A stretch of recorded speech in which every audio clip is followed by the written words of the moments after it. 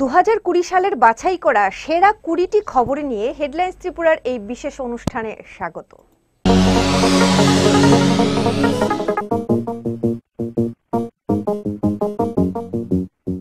প্রথমে এই সেরা কুড়ির তালিকায় যে খবরটিতে চোখ রাখব, সেটি হলো ছয়ই ডিসেম্বর রাজ্য অতিথিশালায় উঠে বিপ্লব কুমার হটাও স্লোগান।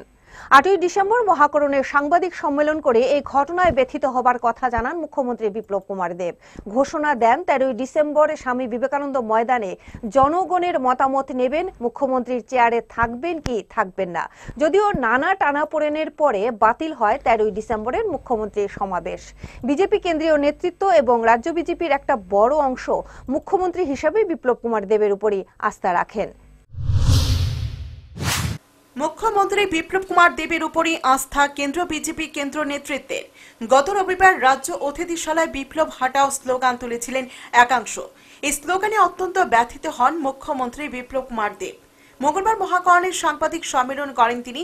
সেই সাংবাদিক সম্মেলন থেকে মুখ্যমন্ত্রী জানান যে, মুখ্যমন্ত্রী বিপ্লব কুমার দেব মুখ্যমন্ত্রীর চেয়ারে থাকবেন কি থাকবেন না, তার জন্য তিনি জনগণের মতামত নেবেন। এবং এর জন্য আগামী তেরোই ডিসেম্বর স্বামী বিবেকানন্দ ময়দানে দুপুর দুটোয় উপস্থিত থাকবেন তিনি। রাজ্যবাসীকে সেদিন স্বামী বিবেকানন্দ ময়দানে উপস্থিত থাকার জন্য সাংবাদিক সম্মেলন থেকে আহ্বান জানান মুখ্যমন্ত্রী বিপ্লব কুমার দেব। এরপরই বিজেপির সর্বভারতীয় সভাপতি জেপি নাড্ডার সাথে মুখ্যমন্ত্রী বিপ্লব কুমার দেবের কথা হয়।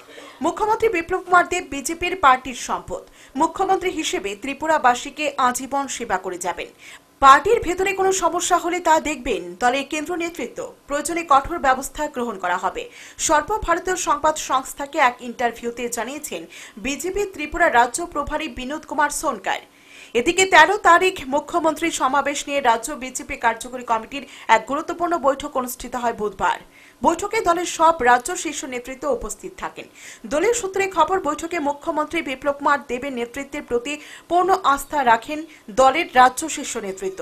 পাশাপাশি দলের মধ্যে দলবিরোধীদের বিরুদ্ধে কড়া পদক্ষেপ গ্রহণের ব্যবস্থা গ্রহণের আর্জি জানিয়ে রিপোর্ট পাঠাবার সিদ্ধান্ত নেওয়া হয়েছে বলে দলীয় সূত্রে খবর। এদিকে সামাজিক মাধ্যমে মুখ্যমন্ত্রী হিসেবে বিপ্লব কুমার দেবের প্রতি সমর্থনের ঝড় উঠেছে। মুখ্যমন্ত্রী বিপ্লব কুমার দেবের প্রতি সমর্থন জানিয়ে একের পর এক সমর্থন বার্তা আছড়ে পড়ছে সামাজিক মাধ্যমে। বিপ্লব কুমার দেব মুখ্যমন্ত্রীর চেয়ারে থাকবেন কি থাকবেন না, সে বিষয়ে রাজ্যবাসীর মতামত জানার জন্য আগামী তেরো ডিসেম্বরে স্বামী বিবেকানন্দ ময়দানে একটি সমাবেশের ডাক দেন মুখ্যমন্ত্রী বিপ্লব কুমার দেব। গত মঙ্গলবার মহাকরণের সাংবাদিক সম্মেলন করে মুখ্যমন্ত্রী তার এই সিদ্ধান্তের কথা জানিয়েছিলেন। কিন্তু ওই দিনের একটা ঘটনা আমাকে অত্যন্ত ব্যথিত করেছে। স্টেট গেস্ট হাউসে কিছু লোক আওয়াজ তুলেছে, বিপ্লব হটাও ত্রিপুরা বাঁচাও। কিন্তু আমি মানুষের কাছ থেকে শুনতে চাই যে বিপ্লব হটাতে হবে। আমি আগামী রবিবার তেরো তারিখ আস্তাবল ময়দানে নিজে যাব। আমি সমস্ত ত্রিপুরাবাসীকে নিবেদন করব। আপনারা এসে বলুন, কি করব আমি? আমি চলে যাব না থাকব? জনতার কাছে আমি প্রশ্ন করব সাতত্রিশ লক্ষ ত্রিপুরাবাসীর কাছে আমার নিবেদন, আসুন। আগামী তেরো তারিখ দুইটায় আমি আস্তাবল ময়দানে যাব। আপনারা এসে বলুন আমাকে যে আমাকে কি চলে যেতে হবে। আপনার যে রায় দেবেন সেটা মেনে নেব এবং আমি আমার হাইকমান্ডের সামনে প্রস্তুত করব। কিন্তু আগামী তেরো ডিসেম্বর স্বামী বিবেকানন্দ ময়দানে মুখ্যমন্ত্রীর এই সমাবেশ হচ্ছে না। সাংবাদিক সম্মেলন করে মুখ্যমন্ত্রী তেরো ডিসেম্বরে সমাবেশের ঘোষণা দেওয়ার পর তাতে হস্তক্ষেপ করেন বিজেপি কেন্দ্রীয় নেতৃত্ব। বিজেপির সর্বভারতীয় সভাপতি জেপি নাড্ডা এবং মুখ্যমন্ত্রী বিপ্লব কুমার দেবের মধ্যে কথা হয়। মুখ্যমন্ত্রীর সাথে কথা হয় বিজেপি রাজ্য প্রভারী বিনোদ কুমার সোনকরের সাথেও। বিপ্লব কুমার দেবের উপরই বিজেপির কেন্দ্রীয় নেতৃত্বের আস্থার বিষয়টিও জানিয়ে দেওয়া হয়। এদিকে রাজ্য মন্ত্রিসভার সকল সদস্য সদস্যা এবং রাজ্য বিজেপির সিংহভাগ বিধায়ক মুখ্যমন্ত্রী বিপ্লব কুমার দেবকে এই সমাবেশ না করার জন্য আবেদন জানান। তাদের আহ্বানে সাড়া দিয়ে মুখ্যমন্ত্রী তেরোই ডিসেম্বরে সমাবেশ করছেন না বলে মুখ্যমন্ত্রী বিপ্লব কুমার দেব জানিয়েছেন বলে বৃহস্পতিবার জানিয়ে দেন উপমুখ্যমন্ত্রী জিষ্ণু দেব বর্মন। তেরো তারিখে যে মিটিং হওয়ার কথা ছিল, যে কার্যক্রমের কথা ছিল, আস্তবল ময়দানে সেটা সম্বন্ধে, সেটা সীমিত একটা প্রেস ব্রিফিং। এবং গতকাল সন্ধ্যার সময় আমরা মন্ত্রীরা, এমএলএরা, মুখ্যমন্ত্রীর হাউসে যাই, সিএম হাউসে যাই, ওনার সঙ্গে আলাপ করি। ওনাকে আমরা অনুরোধ করেছি, মন্ত্রী এমএলএর পক্ষ থেকে গতকাল সন্ধ্যাবেলা। তেরো তারিখে যে কার্যক্রমটা হওয়ার কথা ছিল আস্তল ময়দানে, সেটা আর প্রয়োজন নেই, সেটা না করাই ভালো। উনি আমাদের আবেদন রেখেছেন। আজ সকালবেলা আমরা পার্টির তরফ থেকে এবং এমএলএরা, আমরা সবই যাই আবার ওনার কাছে। আবার ওনাকে অনুরোধ করি আমরা যেমন এই তেরো তারিখে যে কার্যক্রমটা না হওয়ার প্রয়োজন নেই এখন। এবং আমাদের কেন্দ্রীয় নেতৃত্ব ওনার সঙ্গে আলাপ করেছেন, নাড্ডাজি, আমাদের সর্বভারতীয় সভাপতি, আমাদের কেন্দ্রীয় প্রভারী সোনকারজি ওনার সঙ্গে আলাপ করেছেন এবং আমাদের মাননীয় মুখ্যমন্ত্রী উনি আমাদের আবেদন রেখেছেন। উনিও বলেছেন যে কখনো প্রয়োজন নেই এটা আমরা বলেছি এবং এই জন্য আমি বলতে চাই যে কি তেরো তারিখের যে কার্যক্রম হওয়ার কথা ছিল আস্তর ময়দানে সেটা এখন হবে না এটা করার দরকার নেই এবং আমরা আমরা ধন্যবাদ জানাই মুখ্যমন্ত্রীদের, আমাদের আবেদন উনি রেখেছেন। এই জন্য আমরা ধন্যবাদ জানাই। এতটুকু আজকে বলা। যেন তেরো তারিখের কার্যক্রমের এখন প্রয়োজন নেই। রাজ্য বিজেপির একাংশ বিদ্রোহী বিধায়ক যারা নিজেদের সংস্কারপন্থী বলে দাবি করছেন তাদের বিদ্রোহী হিসাবে দেখছেন না উপমুখ্যমন্ত্রী জিষ্ণু দেব বর্মন বিজেপিতে বিদ্রোহী আছে বলে মনে হয় না বলেও এদিন জানান উপমুখ্যমন্ত্রী। বিদ্রোহী শব্দটা সিপিএমের শব্দ। আমি আমরা পৃথিবীতে বিদ্রোহী আছে কিছু বলে মনে হয় না। সোনকারজি কালকে বলেছেন আপনাদেরকে বড় পরিবার সেখানে অনেক রকম ভিউজ থাকে। সবার ভিউ শোনা হয়। এতটুকুই তেরো তারিখের যে কার্যক্রম হবে, সেটা হবে কি হবে না, মুখ্যমন্ত্রীকে আবেদন করার জন্য আমরা এসেছি। এটা কোনো শো স্ট্রেংথের ব্যাপার না। বিজেপিতে স্ট্রেংথ হয় না। পাশাপাশি মুখ্যমন্ত্রী হিসেবে বিপ্লব কুমার দেবের প্রতি তাদের পূর্ণ সমর্থন রয়েছে সেই কথাও রাজ্য মন্ত্রিসভার সকল সদস্য সদস্যা, রাজ্য বিজেপির সিংহভাগ বিধায়ক জানিয়ে দেন মুখ্যমন্ত্রীকে বলেও এদিন জানান উপমুখ্যমন্ত্রী জিষ্ণু দেব বর্মন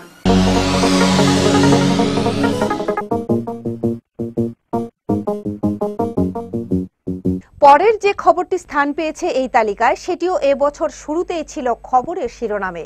চলতি বছরের তেসরা জানুয়ারি নারী নির্যাতন ইস্যুতে মিছিল করেন বিজেপি বিধায়ক সুদীপ রায় বর্মন। এ মিছিল নিয়ে ব্যাপক আলোচনা গুঞ্জন দেখা দিয়েছিল রাজনীতির অলিন্দে। সুদীপ বর্মনের ডাকে নারী নির্যাতন বিরোধী মিছিল হল শুক্রবার। রাজধানীর রবীন্দ্র ভবন থেকে মিছিল শুরু হয়েছে। মিছিলে যারা হাঁটলেন, তারা অধিকাংশই মূলত বামপন্থী ঘরানার। অমর ঘোষ থেকে শুরু করে জে কে দেববর্মারা। এছাড়া মিছিলে গান গাইলেন বামপন্থী শিল্পী চক্রবুহ সদস্যরা। নারী নির্যাতনের হার বর্তমান সরকারের আমলে অনেকটাই হ্রাস পেয়েছে। আইনমন্ত্রী রতনলাল নাথ সরকারি পরিসংখ্যানের উল্লেখ করে জানিয়েছেন, নারী নির্যাতনের হার বর্তমানে দশ শতাংশের উপর হ্রাস পেয়েছে।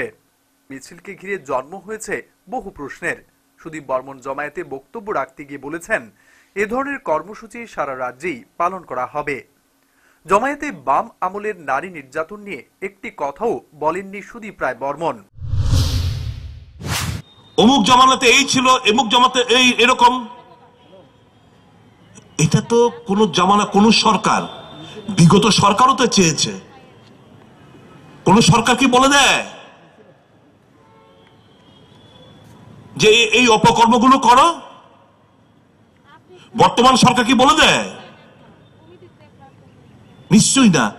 সব সরকারই চেষ্টা করে তাদের পিরিয়ডে এই জঘন্যতম ঘটনাগুলো যেন না ঘটে। এটা কিন্তু ঘটনা। তাহলে আমরা কেন একে অপরকে আমরা দোষারোপ করি? কার্যত বাম সরকারকে ছাড়পত্র দিয়ে তিনি বলেছেন, কোন সরকারই চায় না রাজ্যের নারী নির্যাতন বৃদ্ধি পাক। মিছিলে গড় হাজির ছিলেন আশিস দাস থেকে শুরু করে সুদীপ পন্থী, দিবাচন্দ্র রাঙ্খল পর্যন্ত।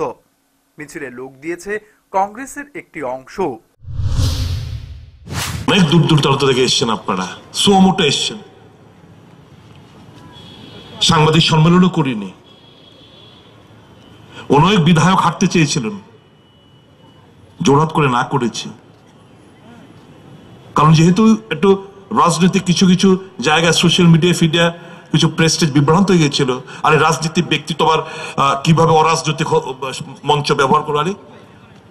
আমি রাজনীতি করে বলে আমি রাজনীতিটা মানে কি? সমাজকে সেবা করা তো। I am committed to the society আমি কি যদি এক পার্সেন্ট সমাজের একটা পার্সেন্ট লোককে যদি মোটিভেট করতে পারি আপনারা যদি পারেন এটাই তো সাফল্য। এভাবেই তো we can bring in a change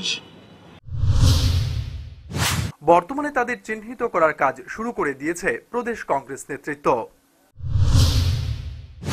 রাজ্যের বর্তমান আইনমন্ত্রী রতনলাল নাথ পরিসংখ্যান তুলে ধরে যেখানে দাবি করছেন বর্তমান রাজ্য সরকারের সময়কালে রাজ্যে নারী নির্যাতনের হার কমেছে।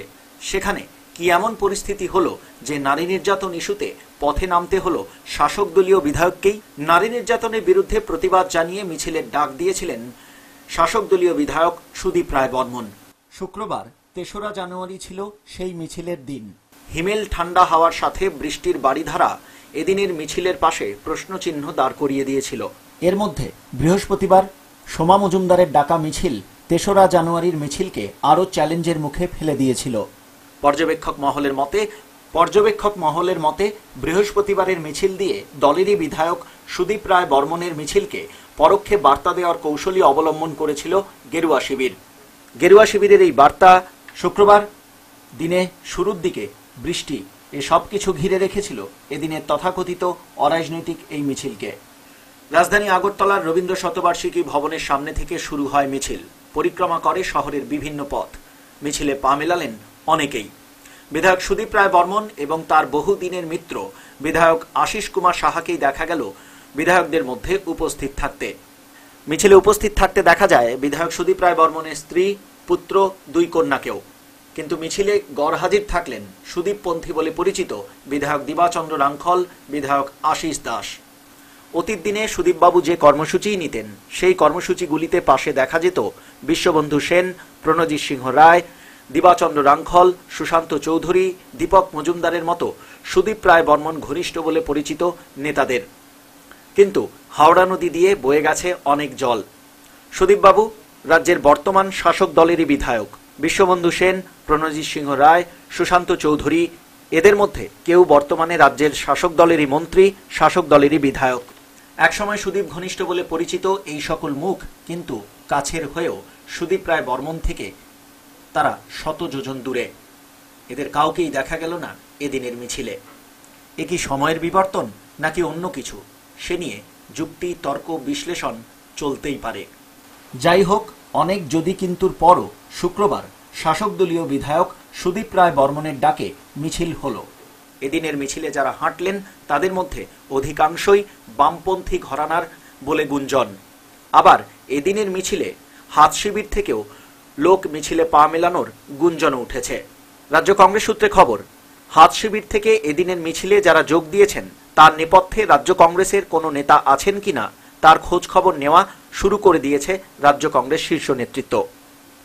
মিছিল শেষে বক্তব্য রাখতে গিয়ে বিধায়ক সুদীপ রায় বর্মন, তাঁর ডাকা এই মিছিলকে কেন রাজনীতির রং লাগানো হয়েছে, তা নিয়েও প্রশ্ন তুলে সরব হন এদিন বিজেপি বিধায়ক সুদীপ রায় বর্মন। অনেক বিধায়ক হাঁটতে চেয়েছিলেন। জোরাত করে না করেছি। কারণ যেহেতু একটু রাজনৈতিক কিছু কিছু জায়গায় সোশ্যাল মিডিয়া ফিডিয়া কিছু প্রেস্টেজ বিভ্রান্ত হয়ে গেছিল আর ব্যক্তিত্ব আবার আহ, কীভাবে অরাজনৈতিক মঞ্চ ব্যবহার করে আরে আমি রাজনীতি করে বলে আমি রাজনীতিটা মানে কি? সমাজকে সেবা করা তো। I am committed to the society আমি কি যদি এক পার্সেন্ট সমাজের একটা পার্সেন্ট লোককে যদি মোটিভেট করতে পারি, আপনারা যদি পারেন, এটাই তো সাফল্য। এভাবেই তো we can bring in a change অনেকেই ভাবেন যে শক্তি প্রচুর। না, এদেরকে করজোর অনুরোধ করেছে। হাঁটবেন না। আপনারা আট নজন হাঁটলে আমার সাথে বলবে, দেখো, উনি শক্তি প্রদর্শন। এই যে বলেছিল আমরা, দয়া করে হাঁটবেন না। রাজনীতি উঠতে আমাদের আমার আশিস বাবুর একটা দীর্ঘদিনের সম্পর্ক। সেই সম্পর্কের জেরে আমরা এখানে দুজনই মধ্যে সীমাবদ্ধ রয়েছি। তবে বক্তব্য রাখতে গিয়ে এদিন বিজেপি বিধায়ক সুদীপ রায় বর্মন বিগত বাম জমানার নারী নির্যাতনের ঘটনাগুলিতে একটি বাক্য ব্যয় না করে কার্যত বিগত বাম সরকারকে ছাড়পত্র দিয়ে এদিন তিনি উল্লেখ করেন কোনো সরকারই চায় না রাজ্যে নারী নির্যাতন বৃদ্ধি পাক। হাসপাতালে গিয়ে অনেকে টিভি চ্যানেলের সামনে বাইট দেয়। অমুক জামানাতে এই ছিল, এমুক জামাতে এই, এরকম। এটা তো কোন জামানা, কোন সরকার। বিগত সরকারও তো চেয়েছে। কোন সরকার কি বলে দেয়? যে এই অপকর্মগুলো করো।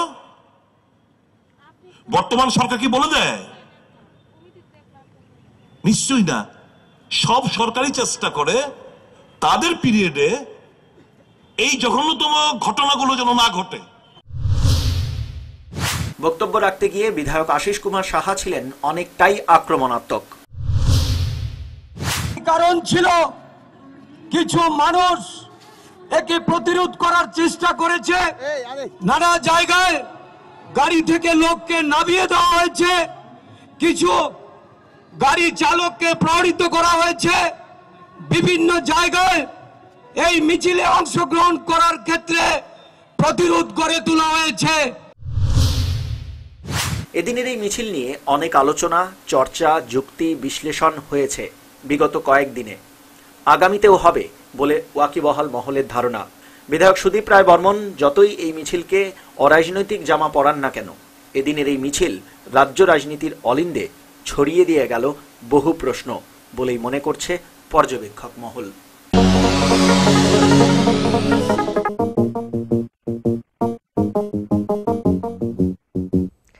মিজোরাম থেকে ত্রিপুরায় আশ্রয় নেওয়া ব্রু শরণার্থীদের বিষয়টির স্থায়ী সমাধান হয় দু সালে। ষোলোই জানুয়ারি দিল্লিতে এক বৈঠকে সমাধান সূত্র বেরিয়ে আসে মিজোরাম থেকে ত্রিপুরায় আশ্রয় নেওয়া ব্রু শরণার্থীরা স্থায়ীভাবে ত্রিপুরাতেই থাকবেন। এ খবরটিও সেরা কুড়ির তালিকায় স্থান করে নিয়েছে। মিজোরাম থেকে ত্রিপুরায় আশ্রয় নেওয়া ব্রু শরণার্থীরা এখন থেকে স্থায়ীভাবে ত্রিপুরাতেই থাকবেন। বৃহস্পতিবার দিল্লিতে হওয়া ত্রিপাক্ষিক চুক্তিতে এই সমাধান সূত্র বেরিয়ে আসে। ব্রু শরণার্থী ইস্যুতে দীর্ঘ সময় ধরে টানাপোড়েন চলছিল। মিজোরামে প্রত্যাবর্তন না স্থায়ীভাবে ত্রিপুরায় বসবাস। ব্রু শরণার্থী ইস্যুতে এই দোলাচল চলে আসছিল। শেষ পর্যন্ত বৃহস্পতিবার দিল্লিতে ত্রিপাক্ষিক চুক্তির মধ্যে দিয়ে বেরিয়ে আসে সমাধান সূত্র। এ বিষয়ে বিস্তারিত জানান কেন্দ্রীয় স্বরাষ্ট্রমন্ত্রী অমিত শাহ। ट्राइबल भाइयों बहनों को बहुत बहुत बधाई देना चाहता हूँ कि लगभग 25 साल से जो समस्या आपकी लिंगरिंग टोन में आगे बढ़ती थी, आज उसका एक समाधान हो गया है।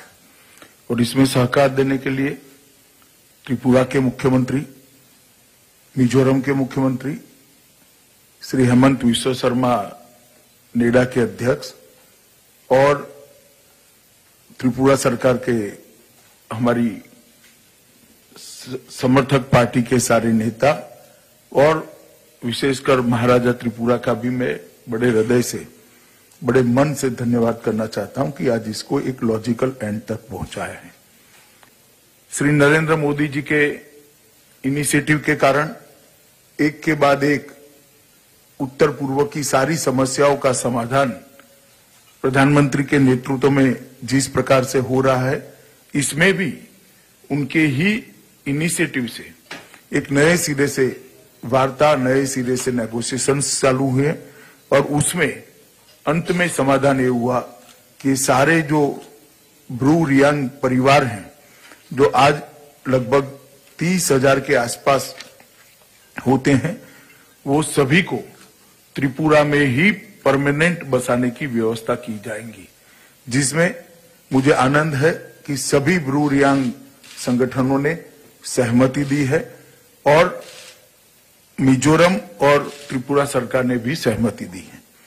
उनको वहाँ पर 40 बाय 30 फीट का एक आवासीय प्लॉट दिया जाएगा और समझौते के अनुसार चार लाख रुपए की फिक्स डिपॉजिट उनके परिवार के नाम पर की जाएगी। पाँच हज़ार रुपया प्रति माह नकद सहायता दी जाएगी। दो साल तक पूरा राशन भारत सरकार की ओर से दिया जाएगा और मकान बनाने के लिए डेढ़ लाख रुपया 1.5 लाख रुपीस और उनको दिए जाएंगे जिससे वो अपना मकान सम्मान के साथ बना सके এদিকে এই বিষয়ে কাঞ্চনপুরের নাগরিক সুরক্ষা মঞ্চের পক্ষ থেকে এখনই কোনো প্রতিক্রিয়া জানাতে নারাজ মঞ্চের প্রতিনিধি অনুপ নাথ দলের এক্সিকিউটিভ কমিটির বৈঠকের পরই তারা তাদের প্রতিক্রিয়া জানাবেন বলে জানালেন কাঞ্চনপুরের নাগরিক সুরক্ষা মঞ্চের প্রতিনিধি অনুপ নাথ এই মুহূর্তে আমি মানে এককভাবে আমি কোনো প্রতিক্রিয়া জানাব না কারণ আমাদের যে এক্সিকিউটিভ কমিটি আছে আমরা মিটিং এ বসবো। মিটিং এ বসার পর আমরা আমাদের যে প্রতিক্রিয়া সেটা আমরা অবশ্যই ব্যক্ত করব এবং ব্রু শরণার্থী ইস্যুতে স্থায়ী সমাধান সূত্র বেরিয়ে আসায় চলে আসা দীর্ঘ দোলাচলে ইতি পড়ল বলে মনে করছে পর্যবেক্ষক মহল।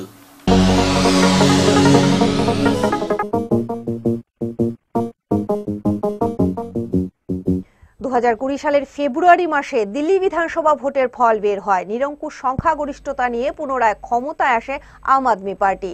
দিল্লির মুখ্যমন্ত্রী পদে অরবিন্দ কেজরিওয়াল হ্যাট্রিক করেন। অন্যদিকে সর্বশক্তি নিয়ে ঝাঁপিয়েও দিল্লির বিধানসভা ভোটে পরাজয়ের মালা বরণ করে বিজেপি। এই খবরটিও সেরা কুড়ির তালিকায় স্থান করে নিয়েছে। দিল্লি বিধানসভা নির্বাচন দু হাজার কুড়ির ভোটের ফলাফলে আম আদমি পার্টির জয় জয়কার ঝাড়ু ঝরে সাফ, বিজেপির দিল্লি দখলের স্বপ্ন। সত্তর আসন বিশিষ্ট দিল্লি বিধানসভা নির্বাচনের ভোট গ্রহণ হয় গত আটই ফেব্রুয়ারি। মঙ্গলবার এগারোই ফেব্রুয়ারি ভোট গণনা হয়। এদিন গণনা শুরু থেকেই এগিয়ে যেতে থাকে আম আদমি পার্টি। দিল্লি বিধানসভার সত্তরটি আসনের মধ্যে তেষট্টিটির কাছাকাছি আসন পেয়ে দিল্লিতে ফের ক্ষমতায় আম আদমি পার্টি। তৃতীয়বার দিল্লির মুখ্যমন্ত্রীর কুর্সিতে বসতে চলেছেন অরবিন্দ কেজরিওয়াল। বিজেপির ঝুলিতে যেতে পারে কম বেশি আটটি আসন। ভরাডুবির মধ্যে বিজেপির সান্ত্বনা গতবারের চেয়ে আসন বৃদ্ধি পেয়েছে এবার গেরুয়া শিবিরের। আর কংগ্রেসের ঝুলি গতবারের মতো এবারও শূন্য। বুথ ফেরত সমীক্ষায় ইঙ্গিত ছিল, দিল্লিতে ফের ক্ষমতায় আসতে চলেছে আম আদমি পার্টি। মঙ্গলবার গণনা শুরু হতেই সেই ইঙ্গিত বাস্তবের রূপে ভোটের ফলে দেখা যায়। ধর্ম না উন্নয়ন? এই প্রশ্নে উন্নয়নকেই বেছে নিল রাজধানী দিল্লি? অন্যদিকে বিজেপির আসন বাড়লেও ধর্মীয় মেরুকরণ, সিএএ এনআরসি এনপিআরের ধাক্কায় এবারও দিল্লির মসনদ অধরাই থেকে গেল বিজেপির বলে মনে করছে রাজনৈতিক পর্যবেক্ষক মহল। অথচ কয়েক মাস আগে দু লোকসভা নির্বাচনের ভোটে দিল্লিতে ভরাডুবি হয়েছিল আম আদমি পার্টির। তৃতীয় স্থানে চলে গিয়েছিল আম আদমি পার্টি। অন্যদিকে দিল্লির সাতটি লোকসভা আসনেই জয় পেয়েছিল বিজেপি।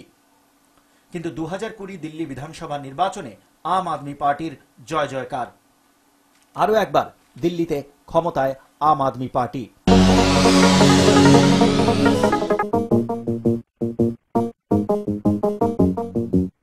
পূর্ত দপ্তরে আর্থিক কেলেঙ্কারি মামলায় অভিযুক্ত হয়ে রাজ্যের প্রাক্তন পূর্তমন্ত্রী সিপিআইএম বিধায়ক বাদল চৌধুরী গ্রেফতার হওয়া পরে জামিনে মুক্তি পান বাদল চৌধুরী। এই খবরটিও সেরা কুড়ির তালিকায় স্থান করে নিয়েছে। এ যেন যুদ্ধ জয়ের উচ্ছ্বাস আনন্দ। নেতা কর্মী সমর্থকেরাও বেশ উদ্বেলিত। শতাধিক মানুষের ভিড়ে যেন বিজয়ী সেনাপতির মতো কেন্দ্রীয় সংশোধনাগার থেকে বেরিয়ে এলেন সিপিএম এর হেভিওয়েট নেতা বাদল চৌধুরী। একেবারে বিশাল ফুলের মালায় জেলের বাইরে সম্বর্ধিত করলেন দলীয় কর্মী সমর্থকেরা।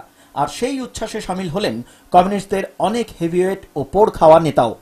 হাজির থাকেন বিধায়ক ভানুলাল সাহা, সিপিএম নেতা পবিত্র কর, বিধায়ক সুধন দাস, সিপিএম নেতা শুভাশিস গাঙ্গুলি সহ আরও অনেকে ছিলেন প্রাক্তন মন্ত্রীর আত্মীয় পরিজনেরাও।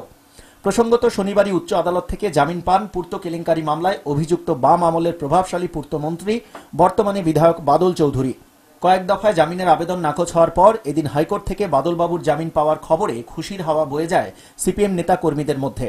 আদালতে হাজির করানোর প্রথম দিন থেকে দীর্ঘ ছিয়াশি দিনের মাথায় অবশেষে জামিন মঞ্জুর হলো তার। এদিন জামিনের আদেশ সাপেক্ষে উচ্চ আদালত শর্ত দেয়, বেল বন্ড বাবদ এক লক্ষ টাকা জমা করতে হবে বাদলবাবুকে। সেই সাথে কোনোভাবেই এই মামলার সাক্ষীদের প্রভাবিত করতে পারবেন না তিনি। যথারীতি হাইকোর্টের আদেশ জারি হওয়ার পর বিশালগড়ের প্রভুরামপুরের কেন্দ্রীয় সংশোধনাগারে শুরু হয়ে যায় জোর তৎপরতা। একে একে সংশোধনাগার চত্বরে ভিড় বাড়তে থাকে বাদল অনুরাগীদের। সংশোধনাগারে যাবতীয় আইনি প্রক্রিয়া শেষে সন্ধে হওয়ার ঠিক আগ মুহূর্তে বিকেল পাঁচটা পাঁচ মিনিট নাগাদ গেটের বাইরে চলে আসেন পূর্ত মামলায় হাজতবাস খাটা বাদলবাবু। মুখে তখন যুদ্ধজয়ের হাসি আর সহকর্মী নেতা কর্মীরাও বেশ আপ্লুত। একে একে তার গলায় পড়তে থাকে ফুলের মালা। সেই সাথে মুহুর্মুহু স্লোগান এরই মধ্যে সংবাদ মাধ্যমের মুখোমুখি হয়ে নিজের প্রতিক্রিয়া তুলে ধরেন বাদল চৌধুরী। এর পাশাপাশি জেল যাত্রা প্রসঙ্গে রাজ্য সরকারের বিরুদ্ধে ক্ষোভ জাহির করতেও পিছু পা হননি তিনি।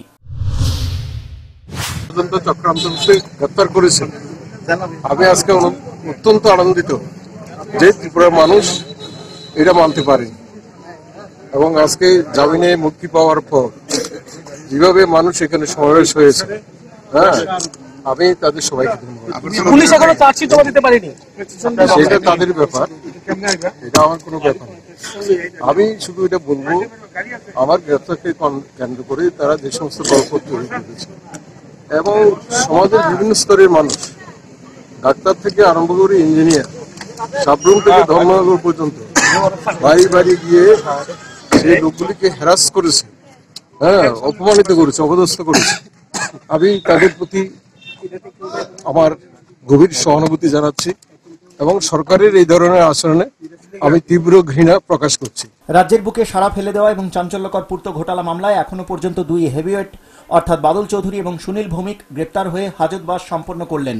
কিন্তু একই যাত্রায় পৃথক ফল হিসেবে এখনও ক্রাইম ব্রাঞ্চের ধরাছোঁয়ার বাইরেই থাকলেন অপর মুখ্য অভিযুক্ত প্রাক্তন মুখ্য সচিব যশপাল সিং। নাকি জেনে শুনেই তাকে ছাড় দিচ্ছেন ক্রাইম ব্রাঞ্চের পদাধিকারী? সেই প্রশ্নও কিন্তু এখন ব্যাপকভাবে উঠতে শুরু করেছে রাজ্য রাজনৈতিক মহলে।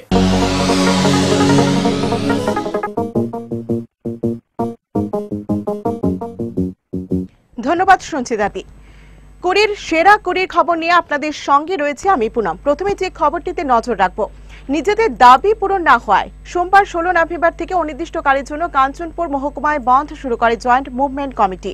চব্বিশ নভেম্বর সেই বন্ধ প্রত্যাহার করে নেয় জয়েন্ট মুভমেন্ট কমিটি। এই খবরটিও স্থান করে নিয়েছে কুড়ির সেরা কুড়িতে। মিজোরাম থেকে রাজ্যে আশ্রয় নেওয়া ব্রু শরণার্থীদের রাজ্যে স্থায়ী পুনর্বাসন ইস্যুতে সোমবার মুখ্যমন্ত্রী বিপ্লব কুমার দেবের সাথে দেখা করলেন মহারাজ প্রদ্যুৎ কিশোর দেববর্মন। এদিন মুখ্যমন্ত্রীর সরকারি বাসভবনে গিয়ে মুখ্যমন্ত্রীর সাথে দেখা করেন মহারাজ প্রদ্যুৎ কিশোর দেববর্মন। পরে সংবাদ মাধ্যমের কাছে এ বিষয়ে প্রতিক্রিয়া ব্যক্ত করেন তিনি। এদিন তার কথায় কেন্দ্রীয় সরকারের ভূমিকা নিয়ে কিছুটা ক্ষোভের সুর শোনা যায়। ब्रू रिपेट्रिएशन के लिए आज 12 बजे पूरा ब्रू लीडर्स लोग आए हैं। होम मिनिस्ट्री चीफ सेक्रेटरी और हमारा मीटिंग है सेक्रेटेरिएट में। उस विषय में मैं मिलने आया हूँ। कुछ अपील किया है ब्रू लोगों ने क्योंकि बहुत प्रॉब्लम हो रहा है उनको स्पेशली कोरोना के टाइम और ये ब्रू रिपेट्रिएशन छः महीने से डिले है। इस विषय में मैं मुख्यमंत्री जी से मिलने आया हूँ। सोल्यूशन अगर गवर्नमेंट ऑफ़ इंडिया ने कमिटमेंट दिया है और गवर्नमेंट ऑफ़ इंडिया का कमिटमेंट अगर का कोई बात नहीं रहेगा तो हम क्या करेंगे? तो कमिटमेंट कमिटमेंट होता है। ठीक है, मैं समझता हूँ कि कोरोना हुआ है इसके लिए छः महीने से डिले हुआ। लेकिन इसका ये मतलब नहीं है कि अभी बिहार में इलेक्शन हो गया है। तो मतलब कि वातावरण थोड़ा इम्प्रूव हुआ है इंडिया में। तो आप ये ब्रू का सेटलमेंट को जल्द से जल्द कीजिए। এদিকে ব্রু শরণার্থীদের স্থায়ী পুনর্বাসন ইস্যুতে কাঞ্চনপুর মহকুমা বন্ধের কবলে। দাবি পূরণ হয়নি এই অভিযোগ এনে সোমবার থেকে অনির্দিষ্টকালের জন্য কাঞ্চনপুর মহকুমা জুড়ে বন্ধ শুরু করল জয়েন্ট মুভমেন্ট কমিটি।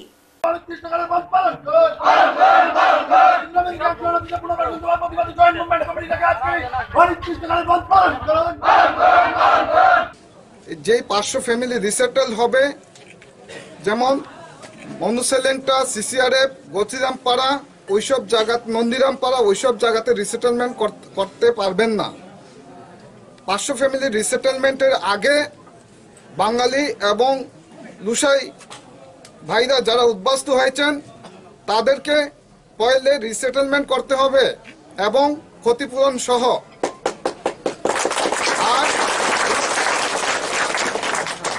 বর্তমানে যে ভূ রিসেটেলমেন্টের জন্য electric department PWD RD DWS এ যে টেন্ডার কল করা হয়েছে, তা ইমিডিয়েট ক্যান্সেল করতে হবে। এবং আমাদের সঙ্গে সিএস এবং মিনিস্ট্রি লেভেলে প্রথমত মিনিস্ট্রি লেভেলের সঙ্গে কথা বলতে হবে, সুযোগ করে দেওয়ার জন্য। এবং আমরা স্ট্রাইক তখনই উড্র করব যখন আমাদের সঙ্গে লিখিত এগ্রিমেন্ট হবে। জয়েন্ট মুভমেন্ট কমিটির দাবিগুলির মধ্যে উল্লেখযোগ্য হিসেবে রয়েছে ব্রু শরণার্থীদের পাঁচশোর বেশি পরিবারকে স্থায়ীভাবে কাঞ্চনপুরে পুনর্বাসন দেওয়া যাবে না। এছাড়াও রয়েছে আরও বেশ কয়েকটি দাবি। জয়েন্ট মুভমেন্ট কমিটির ডাকা এই অনির্দিষ্টকালের বন্ধের প্রভাব লক্ষ্য করা যায় এদিন কাঞ্চনপুরে। ব্যাহত হয় স্বাভাবিক জনজীবন। বন্ধের সমর্থনে জয়েন্ট মুভমেন্ট কমিটির প্রতিনিধিদের নামতে দেখা যায় পথে। কাঞ্চনপুরের জয়েন্ট মুভমেন্ট কমিটির ডাকা অনির্দিষ্টকালের বন্ধ মঙ্গলবার প্রত্যাহার করে নিল জয়েন্ট মুভমেন্ট কমিটি। কমিটির তরফে এদিন প্রকাশ্যে এই বন্ধ প্রত্যাহারের বিষয়ে ঘোষণা দেওয়া হয়। গত ষোলোই নভেম্বর থেকে কাঞ্চনপুর মহকুমা জুড়ে অনির্দিষ্টকালের ধর্মঘটে ডাক দিয়েছিল জয়েন্ট মুভমেন্ট কমিটি। অনির্দিষ্টকালের বন্ধ প্রত্যাহারের ফলে মঙ্গলবার থেকে কাঞ্চনপুর মহকুমায় জনজীবনে স্বস্তি ফিরল। নদিনের মাথায় কাঞ্চনপুরে জয়েন্ট মুভমেন্ট কমিটির অনির্দিষ্টকালের বন্ধ প্রত্যাহারের ফলে এদিন দুপুর থেকে মহকুমা শাসক অফিস সহ হাট, বাজার, দোকানপাট খুলতে শুরু করেছে। রাস্তায় যান চলাচল স্বাভাবিক হয়েছে। থেকে এখন থেকে সম্পূর্ণরূপে আমরা তুলে নিয়েছি, কারণ আমাদের দাবি নিয়ে যে আমরা সরকার আলোচনায় বসুক, সেই আলোচনায় সরকার সম্মতি দিয়েছেন। তাই আমরা আমাদের এই জয়েন্ট মুভমেন্ট কমিটির যে অনির্দিষ্টকালে মহকুমা বল, তা আমরা উইথড্র করলাম।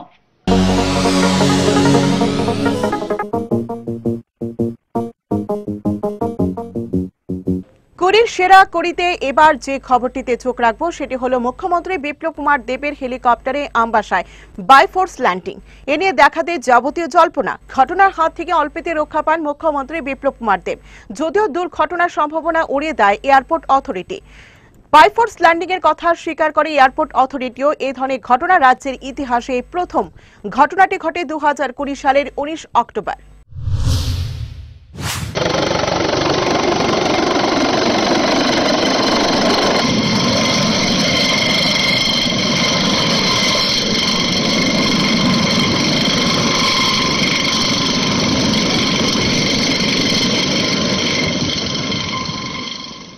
মুখ্যমন্ত্রী বিপ্লব কুমার দেবের হেলিকপ্টারে অবতরণের সময় আমবাসায় কেন হঠাৎ বাইফোর্স ল্যান্ডিং করতে হয়েছে, এ নিয়ে দেখা দিয়েছে যাবতীয় জল্পনা। যদিও এয়ারপোর্ট অথরিটি থেকে দুর্ঘটনার আশঙ্কা উড়িয়ে দেওয়া হয়েছে, কিন্তু বাইফোর্স ল্যান্ডিং এর কথা স্বীকার করা হয়েছে। আর এর থেকে দেখা দিয়েছে যাবতীয় প্রশ্ন। সঙ্গত কারণে প্রশ্ন উঠেছে কি সেই বাইফোর্স ল্যান্ডিং? হঠাৎ কেন করা হয় বাইফোর্স ল্যান্ডিং? এই ব্যাপারে এয়ারপোর্ট অথরিটির বক্তব্য হলো পাহাড়ি এলাকাতে অবতরণের সময় বাইফোর্স ল্যান্ডিং করতে হয়। অতীতেও এই বাইফোর্স ল্যান্ডিং হয়েছে। কিন্তু মুখ্যমন্ত্রী বিপ্লব কুমার দেব যখন বিভিন্ন জায়গায় সফর করেন, তখন এই ধরনের ঘটনা ঘটেনি। রবিবার আকাশও পরিষ্কার ছিল। আমবাসায় অবতরণের সময় পাইলট নির্দিষ্ট জায়গাতে অবতরণ করতে পারেননি। তখনই দেখা দিয়েছে বিপত্তি। ল্যান্ডিং এর জায়গা না পেয়ে কিছু সময় আকাশেই ঘুরতে থাকে মুখ্যমন্ত্রীর হেলিকপ্টার। পরবর্তী সময়ে সরানো হয় গাড়ি। পাহাড়ের গা ঘেঁষে অবতরণ করানো হয় মুখ্যমন্ত্রীর হেলিকপ্টার। মুখ্যমন্ত্রী বিপ্লব কুমার দেব তখন হেলিকপ্টারে বসে রয়েছেন। তিনি জানতেন না এই বাইফোর্স ল্যান্ডিং এর কথা। অবশেষে কিছু সময় পর পাহাড়ের গা ঘেঁষে যখন বাইফোর্স ল্যান্ডিং করা হয়, তখন হাত ছেড়ে বাঁচেন পাইলটরা। হেলিকপ্টারে দুজন পাইলট থাকেন। রাজ্যে যে পবনহংস হেলিকপ্টার ব্যবহৃত হয়, তার ইঞ্জিন দুটি। নিরাপদের দিক দিয়ে ঠিক থাকলেও ল্যান্ডিং এর সময় অনেক দুর্ঘটনা ঘটেছে হেলিকপ্টারে। এক্ষেত্রে ঘটনার তদন্তের দাবি উঠেছে। যদিও মুখ্যমন্ত্রী বিপ্লব কুমার দেব এ ব্যাপারে কোনো মন্তব্য করেননি। রাতে তিনি বাড়ি ফিরে আসেন সড়ক যোগে।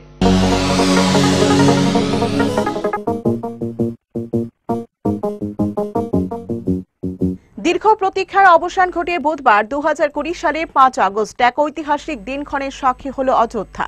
প্রধানমন্ত্রী নরেন্দ্র মোদীর হাত ধরে শিলান্যাস হল রাম মন্দিরের। ভগবান বিষ্ণু এবং ভগবান রামের পছন্দের ফুল গাছ। পারিজাত রোপণ করলেন প্রধানমন্ত্রী। রূপর ইট দিয়ে ভিত্তিপ্রস্তর স্থাপন করা হল রাম মন্দিরের। কুড়ির সেরা কুড়িতে স্থান করে নিয়েছে এই খবরটি। ঐতিহাসিক এই দিন প্রধানমন্ত্রী নরেন্দ্র মোদীর হাত ধরে ভিত্তিপ্রস্তর স্থাপন হয়ে গেল রাম মন্দিরের। দীর্ঘদিনের লড়াইয়ের অবসান। তৈরি হল নয়া এক যুগের। গোটা রাষ্ট্রের প্রতিনিধি হিসেবে ভূমি পুজো করলেন প্রধানমন্ত্রী মোদী।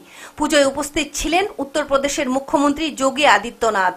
ছিলেন মোহন ভাগবত। এছাড়াও ছিলেন সাধু সন্তরা। গণেশ পুজো দিয়ে শুরু হয় ভূমি পুজো। আজ বুধবার মাত্র বত্রিশ সেকেন্ডের জন্য স্থায়ী হয় পূর্ণ লগ্ন বারোটা চুয়াল্লিশ মিনিট আট সেকেন্ড থেকে বারোটা চুয়াল্লিশ মিনিট চল্লিশ সেকেন্ড পর্যন্ত সেই মহরত স্থায়ী থাকবে। আগে জানানো হয়েছিল, ঘড়ির কাঁটা দেখে ঠিক বারোটা চুয়াল্লিশ মিনিটে শুরু হয় বিশেষ পুজো। শুভ সময় শেষ হওয়ার আগেই শেষ হয় পুজো। সেখান থেকে প্রধানমন্ত্রী সোজা চলে যান মূল মঞ্চে। নির্ধারিত সময়ে এদিন অযোধ্যায় আসেন প্রধানমন্ত্রী। সেখান থেকে সোজা চলে যান হনুমান গাড়িতে। সেখানে আরতি করেন। এরপর সেখান থেকে চলে যান রামলালার অস্থায়ী মন্দিরে। রামলালা মন্দিরে পুজো করলেন প্রধানমন্ত্রী নরেন্দ্র মোদী। রাম জন্মভূমিতে সাষ্টাঙ্গে প্রণাম করলেন তিনি। সেখানে থেকে সরাসরি ভূমি পুজোর অনুষ্ঠানে প্রধানমন্ত্রী। তবে বিতর্কের ইতিহাস অনেক পুরনো। উনত্রিশ বছর ইতিহাস মনে রাখবে ভারত। উনিশশো একানব্বই এর পর থেকে তোলপাড় হয়েছে ভারতের ধর্ম রাজনীতি। অযোধ্যাকে ঘিরে আবর্তিত হয়েছে গোবলয়ের রাজনীতি। সেই উনত্রিশ বছর পেরিয়ে অযোধ্যায় পা রাখবেন নরেন্দ্র মোদী। আজ তিনি দিল্লির মসনদে। তার হাতেই হল রাম মন্দিরের ভূমি পুজোর সূচনা। চল্লিশ কেজির রূপোর ইট স্থাপন করলেন তিনি। ধুতি, পাঞ্জাবি পরে অযোধ্যায় পা রাখলেন প্রধানমন্ত্রী। উনত্রিশ বছর আগে তিনি গিয়েছিলেন অযোধ্যায়। মুরলী মনোহর যোশীর সঙ্গে নরেন্দ্র মোদীর একটি ছবি পাওয়া যায়, যা অযোধ্যায় তোলা বলে জানা যায়। সম্প্রতি টাইমস অফ ইন্ডিয়াকে দেয়া সাক্ষাৎকারে মহেন্দ্র ত্রিপাঠী নামে এক ব্যক্তি দাবি করলেন, ওই ছবি তাঁরই তোলা। তিনি জানিয়েছেন, রাম মন্দির চত্বরের কাছেই তার স্টুডিও। তিনি উনত্রিশ বছর আগে এই ছবি তুলেছিলেন। রাম জন্মভূমি নিয়ে তখন তোলপাড় অযোধ্যা। এটি সেই সময়ে তোলা ছবি বলেই জানা যায়। সেই সময় এক স্থানীয় সাংবাদিক মোদীকে প্রশ্ন করেছিলেন, তিনি আবার অযোধ্যা আসবেন কিনা? মোদী বলেছিলেন, যেদিন রাম মন্দির হবে, সেদিন আসব। তার কথায় কথা রেখেছেন মোদী। রাম মন্দিরের জন্যই উনত্রিশ বছর পর অযোধ্যায় এলেন প্রধানমন্ত্রী।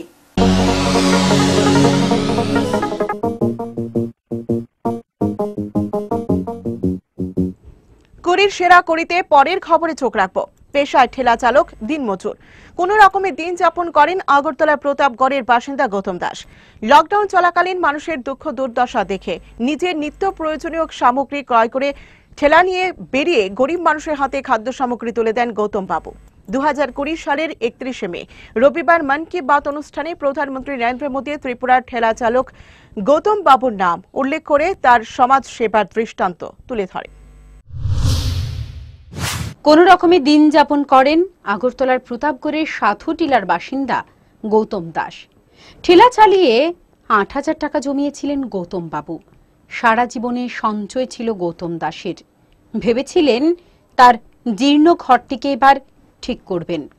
করোনা ভাইরাসে লকডাউন হবার পর মানুষের দুঃখ দুর্দশা দেখে নিজের সেই কষ্টার্জিত অর্থ তুলে দেন দিনমজুরদের হাতে। নিজে নিত্য প্রয়োজনীয় সামগ্রী ক্রয় করে ঠেলা নিয়ে বেরিয়ে পড়েন গরিব মানুষদের হাতে খাবার তুলে দিতে। হেডলাইন্স ত্রিপুরা, গৌতম বাবুর এই মহৎ কাজটিকে প্রচার করে এবং সেটি প্রচার হতেই প্রশাসনের নজরেও আসে। রবিবার মন কি বাত অনুষ্ঠানে প্রধানমন্ত্রী নরেন্দ্র মোদী ত্রিপুরার ঠেলা চালক গৌতম বাবুর নাম উল্লেখ করে তার সমাজ সেবার দৃষ্টান্ত তুলে ধরেন তিনি গৌতম বাবুকে তার এই অসামান্য অবদানের জন্য অভিনন্দন জানিয়েছেন अगरतला में ठेला चलाकर जीवन यापन करने वाले गौतम दास जी अपनी रोजमर्रा की कमाई की बचत में से हर रोज दाल चावल खरीदकर जरूरतमंदों को खाना खिला रहे हैं এরপরই গৌতম বাবু হেডলাইন্স ত্রিপুরা এসে রাজ্যবাসীকে ধন্যবাদ জানান তার এই প্রাপ্তির জন্য তিনি ধন্যবাদ জানান প্রধানমন্ত্রী নরেন্দ্র মোদীকে মুখ্যমন্ত্রী বিপ্লব কুমার দেবের অনুরোধে তিনি তার সাথেও দেখা করেন দারিদ্রতার সাথে লড়াইয়ের করুণ কাহিনী শুনে মুখ্যমন্ত্রী তার ছেলের জন্য একটি চাকরির প্রতিশ্রুতি দিয়েছেন সঙ্গে বলেছেন তাকে একটি লোনের ব্যবস্থাও করে দেবেন আমি আশা করি মাননীয় প্রধানমন্ত্রী যেই গৌতম দাসকে আজকে চিহ্নিত করেছে, আমরা ত্রিপুরা সরকারের পক্ষ থেকে ওনার পরিবারের সঙ্গে দাঁড়ানো এবং তাকে কীভাবে সাহায্য করা যেতে পারে আর্থিকভাবে, সেই বিষয়ে আমরা খুব কম সময়ের মধ্যে তার পরিবারের জন্য সাহায্য সহায়তার হাত বাড়িয়ে দেব। সম্বর্ধনা দিয়েছেন সাংসদ প্রতিমা ভৌমিকও। গৌতম দাস মহোদয়, যিনি একজন ঠেলা রিক্সা চালিয়ে কাজ করছেন, নিজের জীবিকা নির্বাহ করেন, যার ওনার স্ত্রীও নেই, চারটা ছেলে মেয়ে। তো উনি লকডাউনেই প্রচারের আলোকে এসেছেন। সবচেয়ে প্রচারের আলোকে বলতে আমাদেরকে সম্বর্ধনা দেওয়া না, এটা তো প্রধানমন্ত্রী, যিনি বর্তমান সময়ে বিশ্বের সবচেয়ে বড় নেতৃত্ব।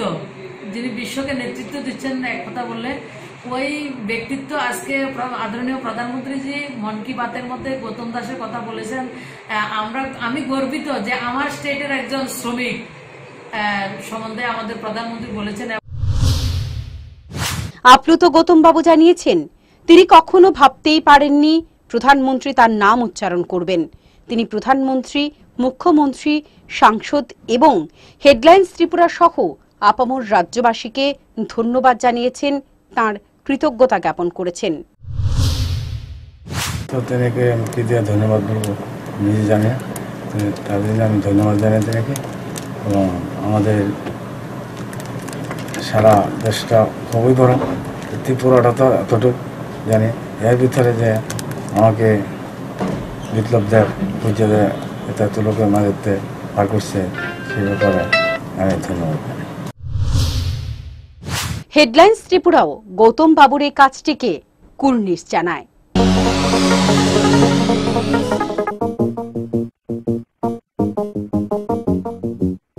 করির সেরা করিতে পরবর্তীতে যে খবরটির দিকে চোখ রাখব, কোভিড কেয়ার সেন্টারে গিয়ে বিতর্কের কেন্দ্রবিন্দুতে চলে আসেন বিজেপি বিধায়ক সুদীপ রায় বর্মন। চিকিৎসকদের পরামর্শ ছাড়া এবং পিপিই কিট না পরেই তিনি সেখানে প্রবেশ করেন বলে অভিযোগ।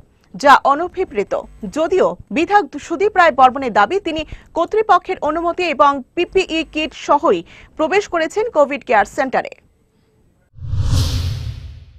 ফের একবার বিতর্কের কেন্দ্রবিন্দুতে চলে এলেন বিধায়ক সুদীপ রায় বর্মন। রবিবার রাজধানী কোভিড কেয়ার সেন্টারে প্রবেশ করার পরে এই নিয়ে শুরু হয়েছে বিতর্ক। চিকিৎসকদের পরামর্শ ছাড়া এবং পিপি কিট না নিয়ে তিনি কোভিড কেয়ার সেন্টারে প্রবেশ করেছেন, যা অনভিপ্রেত বলে মনে করছে সংশ্লিষ্ট মহল। যদিও বিধায়ক সুদীপ রায় বর্মনের দাবি, তিনি স্বাস্থ্য দপ্তরের অধিকর্তা, মেডিকেল সুপারের অনুমতি নিয়ে পিপি কিট পরিধান করে সেন্টারের ভেতরে প্রবেশ করেছেন এবং করোনা আক্রান্ত রোগীদের বিভিন্ন সমস্যা সম্পর্কে অবহিত হয়েছেন। তিনি জানান, সোশ্যাল মিডিয়ায় এক গর্ভবতী মহিলা কাতর আরতি শুনে তিনি এই সেন্টার পরিদর্শনে আসেন। কোভিড কেয়ার সেন্টারের কর্তৃপক্ষের সাথে তিনি কথা বলেন এবং রোগীরা যাতে বাড়িঘরের পরিবেশের মতোই সেখানে থাকতে পারেন, সেই বিষয়ের দিকে নজর দেবার আহ্বান জানান। যারা রেসপন্সিবল রয়েছেন এখানে যারা জানি ইনচার্জ ওনার সঙ্গে দাঁড়িয়ে কথা বললাম।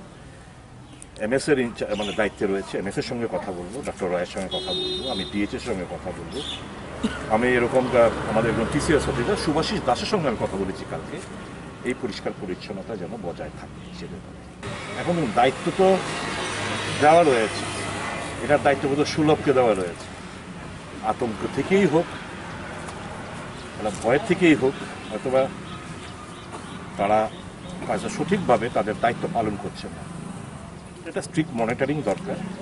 আমি বলে এসেছি এখন আজকে গিয়েও বলব যে তোমরা দায়িত্ব বন্টন করলেই চলবে না। এই দায়িত্বটা যেন তারা সঠিকভাবে পালন করে, সেই মনিটরিংয়ের ব্যবস্থা যেন তারা তৈরি করে, সেটাই বলব, অনুরোধ।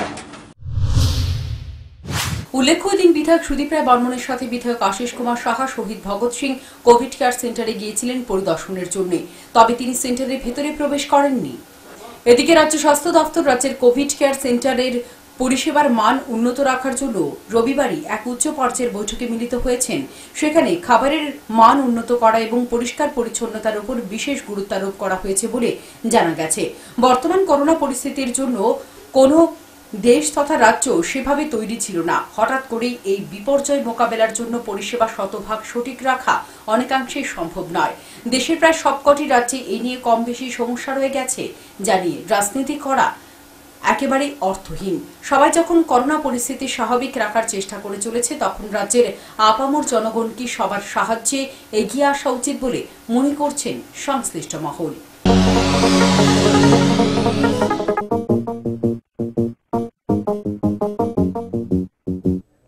সাতই ডিসেম্বর দু হাজার কুড়ি, রাজ্যের ধলাই জেলায় রোমহর্ষক অপহরণের ঘটনা। ধলাই জেলার গঙ্গানগরের মালদাপাড়া থেকে অপহৃত তিন নির্মাণ শ্রমিক। এই ঘটনার পর থেকে জেলা পুলিশের তরফে এবং বিএসএফ এর স্থানীয় শীর্ষ কর্মকর্তারা চিরুনি তল্লাশি শুরু করে দেন।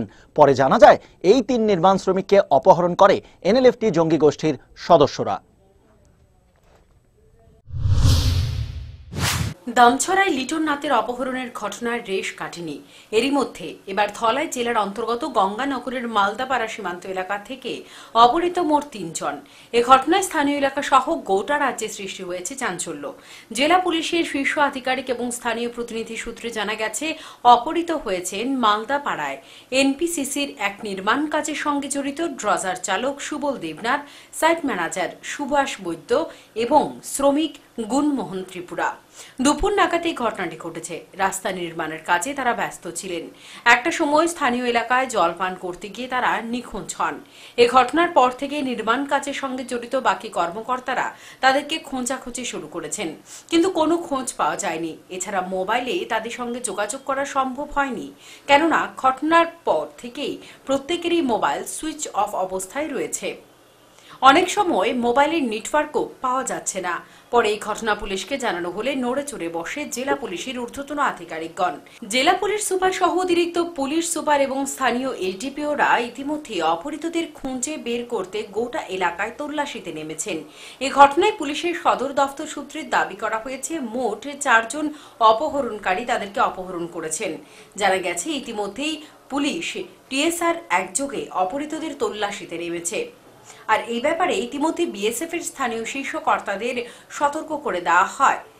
তাদের সহযোগিতাও চাওয়া হয়েছে। স্থানীয় প্রতিনিধি সূত্রে শেষ খবর পাওয়া পর্যন্ত জানা গেছে, নির্মাণ কাজের দায়িত্বপ্রাপ্ত কর্মচারী তথা শ্রমিকদের অপহরণের দায় এখনও পর্যন্ত কোনো গোষ্ঠী স্বীকার করেনি। এ ব্যাপারে এখনও পর্যন্ত কোনো তথ্য পাওয়া যায়নি। এমন ঘটনার পরিপ্রেক্ষিতে স্বাভাবিক কারণে গোটা জেলাতে বিরাজ করছে আতঙ্ক। একটা সময় অর্থাৎ বাম জামানায় স্থানীয় সীমান্ত এলাকা দিয়ে অপহরণের ঘটনাবলী ঘটত। সেই সময় এরকম ঘটনার আধিক্য ছিল অনেক বেশি। প্রশ্ন উঠতে শুরু করেছে, তবে কি সেই অধ্যায় আবার ফিরে এলো? মাত্র কিছুদিন আগে উত্তর ত্রিপুরার অন্তর্গত দামছড়া সীমান্ত এলাকা হতে অপহৃত হয়েছেন ক্ষুদ্র ব্যবসায়ী লিটন নাথ। অপহরণের ঘটনার দশ দিন কেটে গেলেও আশ্চর্যের বিষয়। পুলিশের হাতে কোনো প্রকার সাফল্য নেই এখনও। আর এই ঘটনার রেশ কাটতে না কাটতেই তিনজনের অপহরণের ঘটনা আসলে কিসের ইঙ্গিত তা নিয়ে প্রশ্ন উঠতে শুরু করেছে। সংশ্লিষ্ট মহলের মধ্যে প্রশ্ন উঠছে হঠাৎ করে অপহরণ সংক্রান্ত অধ্যয়ন পুনরাবৃত্তি আসলে কোনো গভীর চক্রান্তের প্রেক্ষাপট নয় তো? গোটা রাজ্যে এই মুহূর্তে যে চলমান পরিস্থিতি রয়েছে, তার মধ্যে একসঙ্গে তিনজনের অপহরণের ঘটনায় কোনো সুবিধাবাদী চক্রের কুটচাল নিহিত নয় তো? এই সমস্ত ঘটনার পরিপ্রেক্ষিতে জেলা পুলিশের অবস্থান এবং এর ফাঁক ফোকর নিয়ে প্রশ্ন উঠেছে। উত্তর ত্রিপুরা জেলাতে লিটন নাথের অপহরণের ঘটনার পর পুলিশের দুর্বলতা নিয়ে যেখানে এখনও বিভিন্ন রহস্যের দানা বেঁধে উঠছে, সেখানে এই অপহরণ কাণ্ডের নেপথ্যে একের পর এক উঠে আসছে নানান প্রশ্ন। সেই জায়গায় এই তিনজন শ্রমিকের অপহরণের ঘটনায় পুলিশি অবস্থান এবং নিরাপত্তাজনিত প্রেক্ষাপট সমালোচক মহলের স্বাভাবিক কারণেই নানা প্রশ্ন সৃষ্টি করেছে। এদিকে দুটি ঘটনার মাধ্যমে চারজনের অপহৃত হবার ঘটনায় অপরাধ বিষয়ক সংশ্লিষ্ট মহলও গভীর উদ্বেগ এবং চিন্তা ব্যক্ত করেছে। সংশ্লিষ্ট মহলের মতে, নতুন সরকারের আমলে রাজ্যে সার্বিকভাবে বিভিন্ন ক্ষেত্রে যে সমস্ত উন্নয়ন কর্মযজ্ঞ চলছে, সেখানে সম্পূর্ণ ইচ্ছাকৃতভাবে প্রতিবন্ধকতা সৃষ্টি করার জন্য এ কোনো নতুন চাল নয় তো? তা না হলে বিচ্ছিন্নতাকামী গোষ্ঠীগুলির নানান দুষ্কর্ম তথা কার্যকলাপ যেখানে পুরোপুরিভাবে রাজ্যে শূন্যের কোঠায় নেমে এসেছিল সেই জায়গায় নতুনভাবে নতুন কায়দায় কূটনীতির নষ্টামিতে কোনো গোষ্ঠী যুক্ত হলো না তো। মহলের মতে এমন ষড়যন্ত্রকে তর্কের খাতিরেই অবশ্য কিন্তু উড়িয়ে দেওয়া যাচ্ছে না। কেননা গোটা রাজ্যে একটা অস্থিতিশীল তথা আতঙ্কের পরিবেশ তৈরি করতে পুরোদস্তরভাবে মরিয়া বিভিন্ন সংগঠন তথা গোষ্ঠী। তাদের বিভিন্ন তাবর নেতৃত্বের বক্তব্যে আগেই নানান ষড়যন্ত্রের গন্ধ আজ করা গেছিল। একাধিক বিক্ষিপ্ত ঘটনা তাদের রহস্য অবস্থান গোটা রাজ্যে আলোড়ন সৃষ্টি করেছিল। অবশ্যই বিভিন্ন ঘটনায় তাদের অবস্থা নিয়ে আজও নানা প্রশ্ন উঠেছে। সে যাই হোক, এই তিন নির্মাণ শ্রমিক অপহরণের ঘটনার নেপথ্যে আসলে কোনো ষড়যন্ত্র নিহিত আছে কিনা, তার তদন্তে নেমেছে জেলা পুলিশের শীর্ষ আধিকারিকগণ। ইতিমধ্যেই তাদেরকে খুঁজে বের করার জন্য মরিয়া চেষ্টা চালিয়ে যাচ্ছেন জেলা পুলিশ। পুলিশ আধিকারিকদের বক্তব্য, অপহৃতদের উদ্ধার করার জন্য সমস্ত শক্তি প্রয়োগ করা হচ্ছে। জেলা এবং সীমান্ত এলাকায় সর্বত্র এই সংক্রান্ত মেসেজ পাঠানো হয়েছে। সময়ের ব্যবধানে আরও তথ্য হাতে উঠে আসতে পারে।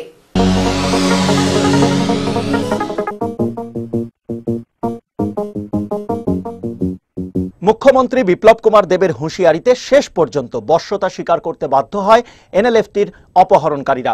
ধলাই জেলার গঙ্গানগর থেকে অপহৃত তিন নির্মাণ শ্রমিককে শেষ পর্যন্ত তেইশে ডিসেম্বর মুক্তি দেয় জঙ্গিরা।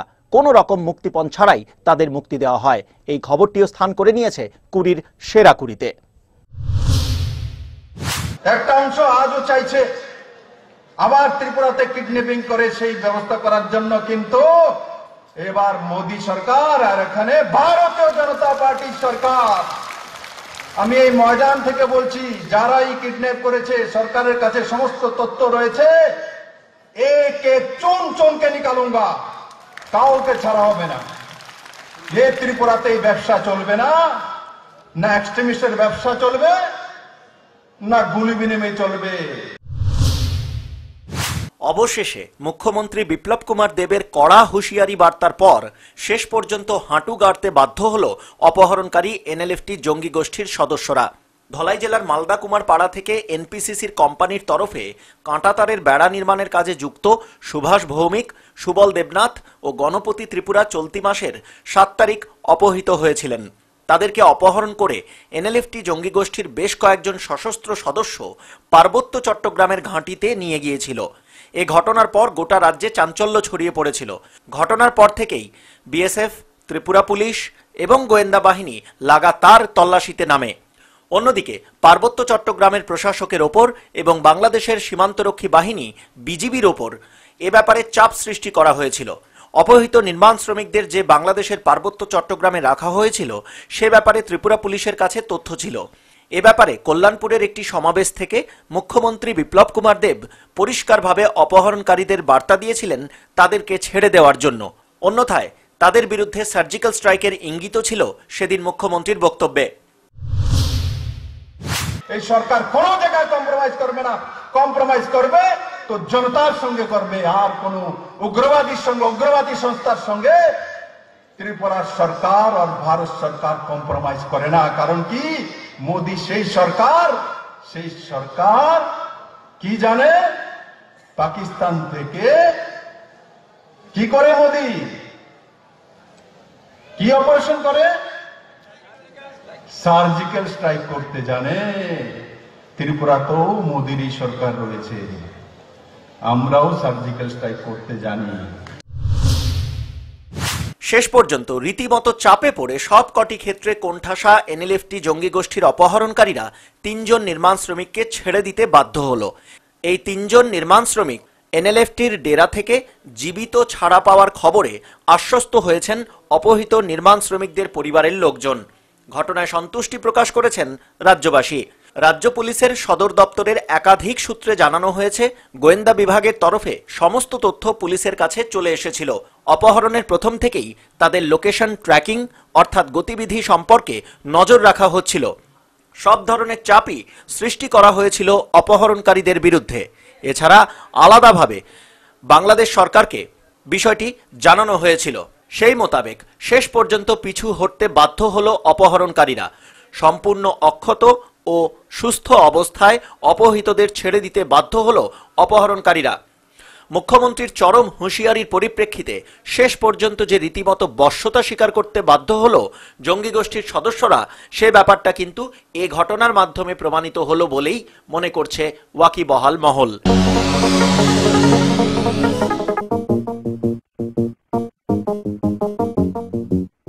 এক যুবকের রহস্য মৃত্যুতে সৃষ্টি হয় নানা প্রশ্ন। জিরানিয়া থানার অন্তর্গত কলাবাগান এলাকায় ছাব্বিশে ডিসেম্বর সকালে ওই যুবকের ক্ষতবিক্ষত দেহ পাওয়া যায়। পুলিশ জানায়, ওই যুবকের নাম অভিজিৎ পোদ্দার, বাড়ি রাজধানী আগরতলার প্যারাডাইস চৌমনি এলাকায়। এই খবরটিও স্থান করে নিয়েছে কুড়ির সেরা কুড়িতে। একটার থেকে তার লগে আমরা স্টক কথাবার্তা আর কোনো কথা হয়েছে না। তারপরে দিয়ে তো মনে করছি যে রাত্রি সবসময় তো আইয়ে, আইবো আইবো, এই ভাইবা ডাকছি। আমরাও ঘরের মধ্যে চটপট চটপট করতেছি। বাবু তো সাংঘাতে উত্তেজিত হয়ে গেছে গা। কুদ্দু পরে পরেই ফোন করে ফোন তো আর পাই না। বেধরকভাবে পেটানো হয়েছিল অভিজিৎকে। একাধিক ব্যক্তি এ ঘটনায় জড়িত থাকতে পারে। তবে যারা হত্যা করেছে, কেউ প্রফেশনাল কিলার নন। মারধর করার পর যখন সে মাটিতে লুটিয়ে পড়েছিল, তখন অভিযুক্তরা হয়তো পালিয়ে গিয়েছিল। বেধরক আঘাতের ফলে ইন্টারনাল হ্যামারেজ হয়ে মৃত্যু ঘটেছিল অভিজিৎ পোদ্দারের। আঘাতপ্রাপ্ত হবার পরও বেশ কয়েক ঘণ্টা বেঁচে ছিল। অভিজিৎ পোদ্দার হত্যাকাণ্ডে এমনটাই বক্তব্য তদন্তকারী পুলিশ অফিসারের।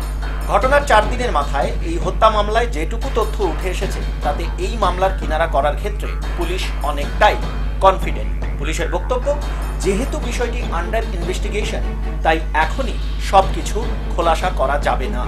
তবে আগামী চব্বিশ ঘণ্টার মধ্যে সমস্ত বিষয় পরিষ্কার হয়ে যাবে। এদিন এই হত্যা মামলায় জড়িত থাকার সন্দেহে একজন সন্দেহভাজনকে আটক করে আদালতে তোলা হয়। এই অভিযুক্তের নাম সাগর দাস। তার বাড়ি রাজধানীর ক্যাপিটাল কমপ্লেক্স কোয়ার্টার এলাকায়। সিসিটিভি ফুটেজ এবং ঘটনার প্রাথমিক তদন্তের মারফত ওই অভিযুক্তকে জালে তোলা হয়। তাকে আদালতে তুলে রিমান্ডে আনার পর নানা তথ্য উঠে আসছে পুলিশের হাতে। পুলিশ জানিয়েছে, বড়দিনের দিন রাত বারোটা পর্যন্ত অভিজিৎ পোদ্দার বন্ধু বান্ধবদের সঙ্গে রাজধানীর ফায়ার সার্ভিস চৌমনির একটি বিলাসবহুল হোটেলে ছিল। সেখানে বড়দিনের পার্টি সেলিব্রেট হয়েছিল। বারোটার পর সেই পার্টি থেকে বন্ধু বান্ধবদের সঙ্গে বেরিয়ে যায় অভিজিৎ। কয়েকজন বন্ধুর সঙ্গে সে রওনা হয় এডিসির সদর দপ্তর খুমুলুঙে গাড়িতে অনেকেই মদমত্ত অবস্থায় ছিল।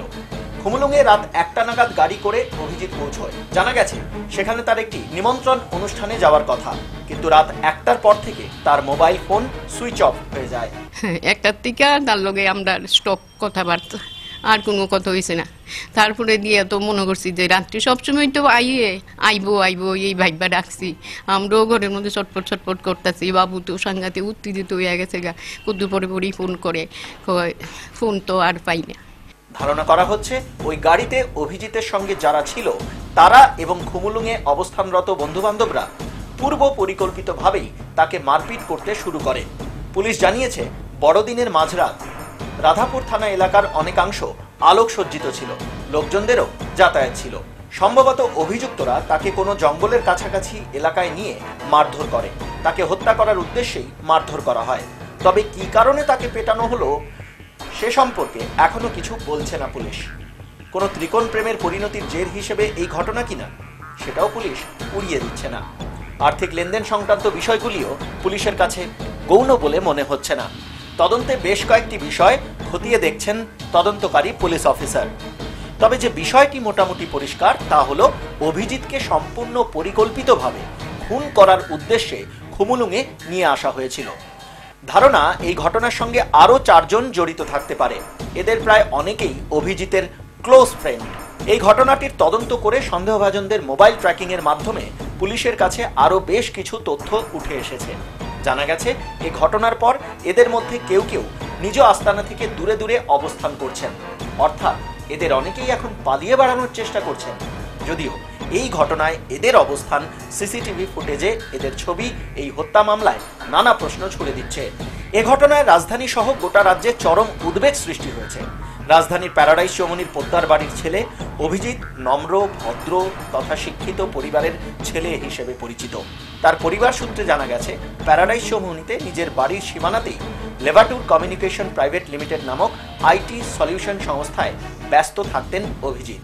অবশ্য পরিবারের অন্যান্য সদস্যদের সঙ্গে। এটা তার জয়েন্ট বিজনেস মূলত ব্যবসায়ী পরিবারের হিসেবে অধিক বেশি পরিচিত ঘরের ছেলে অভিজিৎ বেঙ্গালুরুতে একটি বেসরকারি কোম্পানির বিশিষ্ট পদে কাজ করতেন।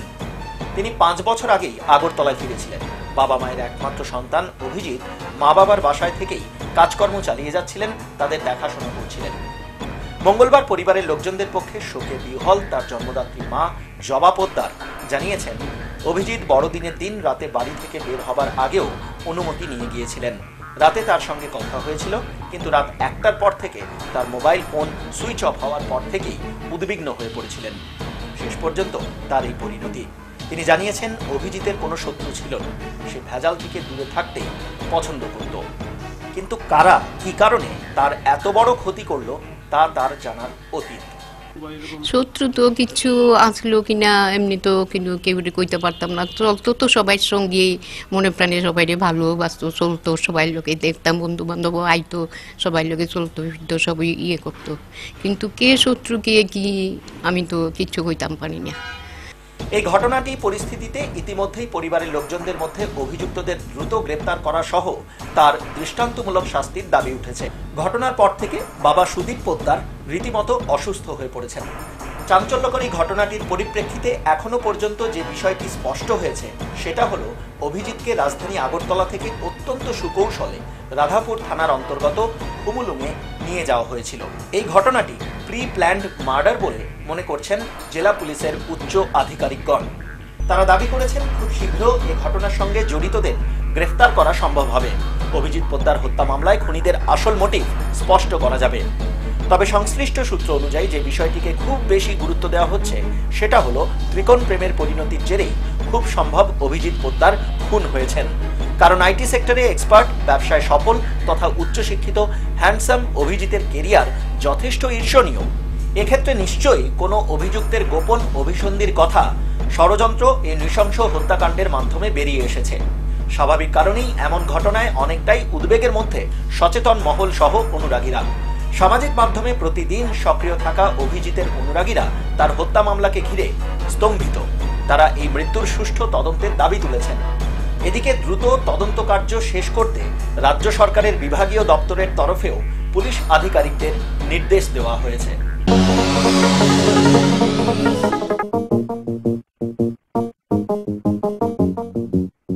বন্দুকের নলের মুখে উত্তর ত্রিপুরা জেলার অন্তর্গত দামছড়ার জয়রামপাড়া থেকে অপহৃত এক ব্যক্তি। ঘটনা আঠাশে নভেম্বর। পেশায় ক্ষুদ্র ব্যবসায়ী ওই অপহৃতের নাম লিটন নাথ। এখনও পর্যন্ত লিটন নাথের কোনো হদিশ মেলেনি। এই খবরটিও স্থান করে নিয়েছে কুড়ির সেরা কুড়িতে। ব্রু শরণার্থী জট কাটতে না কাটতেই উত্তরের দামছড়া থেকে অপহৃত এক ব্যক্তি। ঘটনায় তীব্র চাঞ্চল্য সৃষ্টি হয়েছে। পুলিশ এবং অপহৃতের পরিবার সূত্রে জানা গেছে, রাত বারোটা নাগাদ এই ঘটনা। নিজ ঘর থেকেই বছর পঁয়ত্রিশের লিটন নাথকে অপহরণকারীরা তুলে নিয়ে গেছে। তারা লুটে নেয় নগদ অর্থসহ স্বর্ণালঙ্কার। এরপর মুক্তিপণ বাবদ দেড় লক্ষ টাকা দাবি করে। চাঞ্চল্যকর এই ঘটনা দামছড়ার কাটোয়া ব্রিজের জয়রামপাড়ায়। ঘটনার খবর পেয়ে জয়রামপাড়া সহ আশপাশ এলাকায় উপস্থিত হয়েছে বিশাল পুলিশ বাহিনী। স্থানীয় প্রতিনিধিদের সূত্রে জানা গেছে, এলাকাটি ত্রিপুরা মিজোরাম সীমান্তের একেবারে কাছাকাছি। শুক্রবার রাতে তিনি তার চার সন্তান ও স্ত্রীকে নিয়ে খাবার শেষে ঘুমিয়েছিলেন। রাত আনুমানিক বারোটা নাগাদ দরজায় ধাক্কা দেয় অপহরণকারীরা। লিটন নাথ দরজা খোলা মাত্রই তারা অতর্কিতে আক্রমণ চালায়। স্বামীর চিৎকারে স্ত্রী ও সন্তানরা ঘুম থেকে উঠে পড়ে। অপহৃত লিটন নাথের স্ত্রী জানান, দুষ্কৃতিকারীরা সকলেই ছিলেন কালো কাপড় পরা। তাদের মুখ ঢাকা অবস্থায় ছিল। তারা হিন্দি ভাষাতে লিটন ও তার স্ত্রীকে টাকা, পয়সা ও স্বর্ণালঙ্কার দেবার হুমকি দেয়। তিনি জানান, অপহরণকারীরা ঘরের প্রত্যেককে গুলি করে মেরে ফেলার ভয় দেখায় এবং স্বর্ণালঙ্কার ও টাকা, পয়সা চায়। প্রাণের ভয়ে ঘরে থাকা নগদ অর্থসহ স্বর্ণালঙ্কার তাদের হাতে তুলে দেন তিনি। এরপরই স্বামীকে তারা তুলে নিয়ে যায়। মুক্তিপণ বাবদ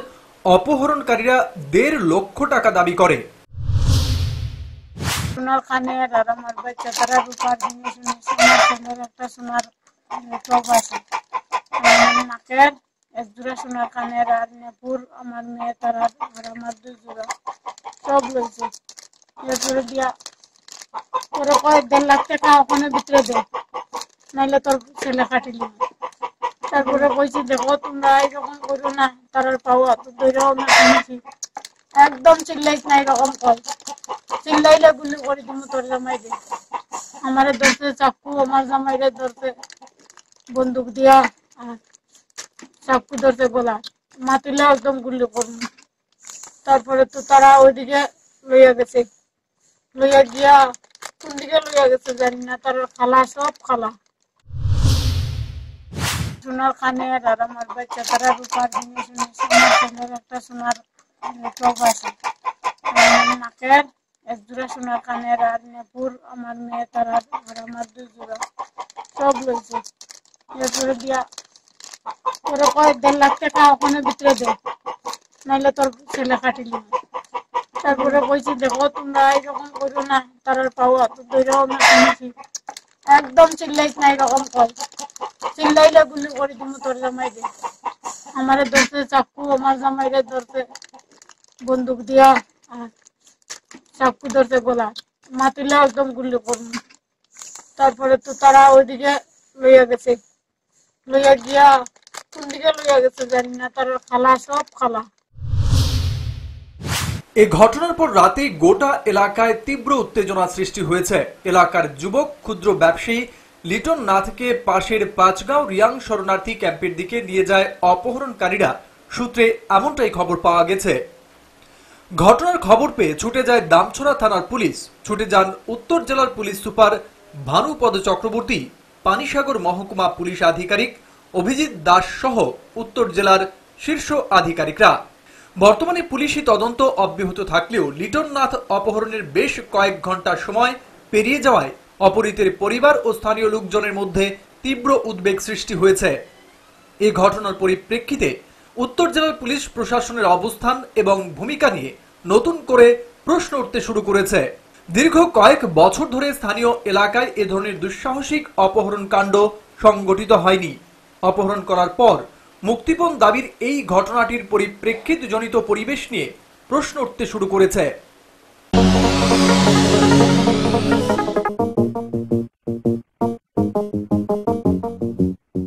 মুখ্যমন্ত্রী বিপ্লব কুমার দেবের নেতৃত্বাধীন রাজ্যের বর্তমান জোট সরকারের জাতীয় স্তরে ব্যাপক সাফল্য। ইন্ডিয়া টুডে আয়োজিত বিভিন্ন ক্যাটাগরিতে সাফল্যের নিরিখে দেশের রাজ্যগুলিকে পুরস্কৃত করার তালিকায় ত্রিপুরার ঝুলিতে একাধিক পুরস্কার আসে। এই খবরটিও স্থান করে নিয়েছে কুড়ির সেরা কুড়িতে। মুখ্যমন্ত্রী বিপ্লব কুমার দেবের নেতৃত্বাধীন বর্তমান রাজ্যের জোট সরকারের সুশাসনের ফল মিলতে শুরু করেছে। ত্রিপুরাকে তিন বছরের মধ্যে মডেল রাজ্য হিসেবে তৈরি করার জন্য অক্লান্ত পরিশ্রম করে চলেছেন মুখ্যমন্ত্রী বিপ্লব কুমার দেব। তারই ফল এবার দেখা গেল। মুখ্যমন্ত্রী বিপ্লব কুমার দেবের নেতৃত্বে জাতীয় স্তরে ব্যাপক সাফল্য ত্রিপুরার। ইন্ডিয়া টুডে আয়োজিত বিভিন্ন ক্যাটাগরিতে সাফল্যের নিরিখে দেশের রাজ্যগুলিকে পুরস্কৃত করার তালিকায় ত্রিপুরার ঝুলিতে একাধিক পুরস্কার। এর মধ্যে ছোট রাজ্যগুলির মধ্যে কৃষিতে সাফল্যের নিরিখে বেস্ট পারফর্মিং এ ত্রিপুরা প্রথম স্থানে। পরিকাঠামো ক্যাটাগরিতে মোস্ট ইমপ্রুভডে ত্রিপুরা প্রথম। মোস্ট ইমপ্রুভড ছোট রাজ্যগুলির মধ্যে ত্রিপুরা দ্বিতীয় স্থানে মোট দু হাজার স্কোরের মধ্যে ত্রিপুরার প্রাপ্ত স্কোর এক হাজার একশো ছেষট্টি দশমিক সাত। বেস্ট পারফর্মিং এর নিরিখে ছোট রাজ্যগুলির মধ্যে ত্রিপুরা পঞ্চম স্থানে মোট দু হাজার স্কোরের মধ্যে ত্রিপুরার প্রাপ্ত স্কোর এক হাজার চব্বিশ দশমিক দুই।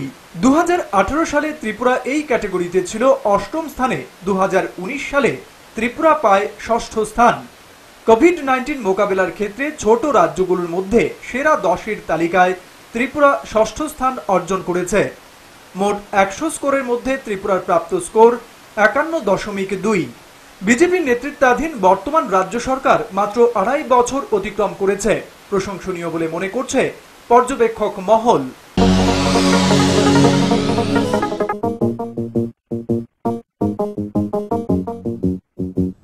পশ্চিমবঙ্গের হলদিয়া বন্দর থেকে পণ্যবাহী জাহাজে করে পণ্য সামগ্রী পৌঁছয় বাংলাদেশের চট্টগ্রাম বন্দরে। সেখান থেকে ট্রানজিট কার্গোতে করে আখাউড়া সীমান্তে তেইশে জুলাই আসে পণ্য সামগ্রী। এদিকে চলতি বছরের পাঁচ সেপ্টেম্বর বাংলাদেশ থেকে ট্রায়াল রানের মধ্য দিয়ে ভারতের ত্রিপুরার সোনামুরার শ্রীমন্তপুর নদী বন্দরে এসে পৌঁছয় সিমেন্ট বোঝাই নৌযান। কুড়ির সেরা কুড়িতে স্থান করে নিয়েছে এই খবর। বৃহস্পতিবার রাজধানীর আখাউড়া সীমান্ত দিয়ে রাজ্যে প্রবেশ করেছে টিএমটি রড ও মসুর ডাল। বুধবারই বাংলাদেশের চিটাগাং বন্দরে এমবি সেজুতি জাহাজ থেকে পণ্য আনলোড হয়ে কার্গোতে করে স্থলপথে আখাউড়ার উদ্দেশ্যে রওনা দিয়েছিল। বৃহস্পতিবার সেগুলি রাজ্যে প্রবেশ করে দুই দেশের প্রশাসনিক কাজকর্ম শেষ করে। করোনা পরিস্থিতির জেরে জমকালো কোনো অনুষ্ঠান না হলেও এই পণ্যবাহী কার্গোগুলিকে রাজ্যে স্বাগত জানাতে সেখানে উপস্থিত ছিলেন মুখ্যমন্ত্রী বিপ্লব কুমার দেব। তিনি আখাউড়া থেকে রাজ্যে প্রবেশের মুখে সেগুলিকে স্বাগত জানান। পরে এক সাক্ষাৎকারে তিনি জানান, এর ফলে রাজ্যের মানুষের অর্থনৈতিক মানোন্নয়ন ঘটবে। আগে যেখানে একটি মাত্র রাস্তা ছিল জাতীয় সড়ক, বর্তমানে বিজেপি সরকারের আমলে আরও পাঁচটি নতুন পথ খুলে গেছে। যার মধ্যে রয়েছে তিনটি জলপথ, দুটি স্থলপথ। চিটাগাং বন্দর ব্যবহার করে স্থলপথে এই পণ্য সামগ্রী আসার কারণে রাজ্যের মানুষ অনেকটাই লাভবান হবেন त्रिपुरा और बांग्लादेश दोनों लाभान्वित हो रहा है और मैं माननीय प्रधानमंत्री जी नरेंद्र भाई मोदी जी এবং বাংলাদেশের প্রধানমন্ত্রী শেখ হাসিনা মহোদয়কে অনেক অনেক ধন্যবাদ জানাই ত্রিপুরাবাসীর পক্ষ থেকে একসময় ত্রিপুরার শুধু একটাই রোড আমাদের লাইফলাইন আমরা জানি যে একটাই বাই রোড সেটাই আমাদের সবকিছু। সেটা যদি বন্ধ হয়ে যায়, সেটা যদি ল্যান্ডস্লাইডিং হয়, আর বারো বছর যাবত তো বর্ষা আসলেই দুই মাস যাবত বন্ধ থাকতো। আমাদের এখানে ইকোনমিক্যাল ক্রাইসিস শুরু হয়ে যেত, দ্রব্যমূল্য আগুন ছোঁয়া দর হয়ে যেত।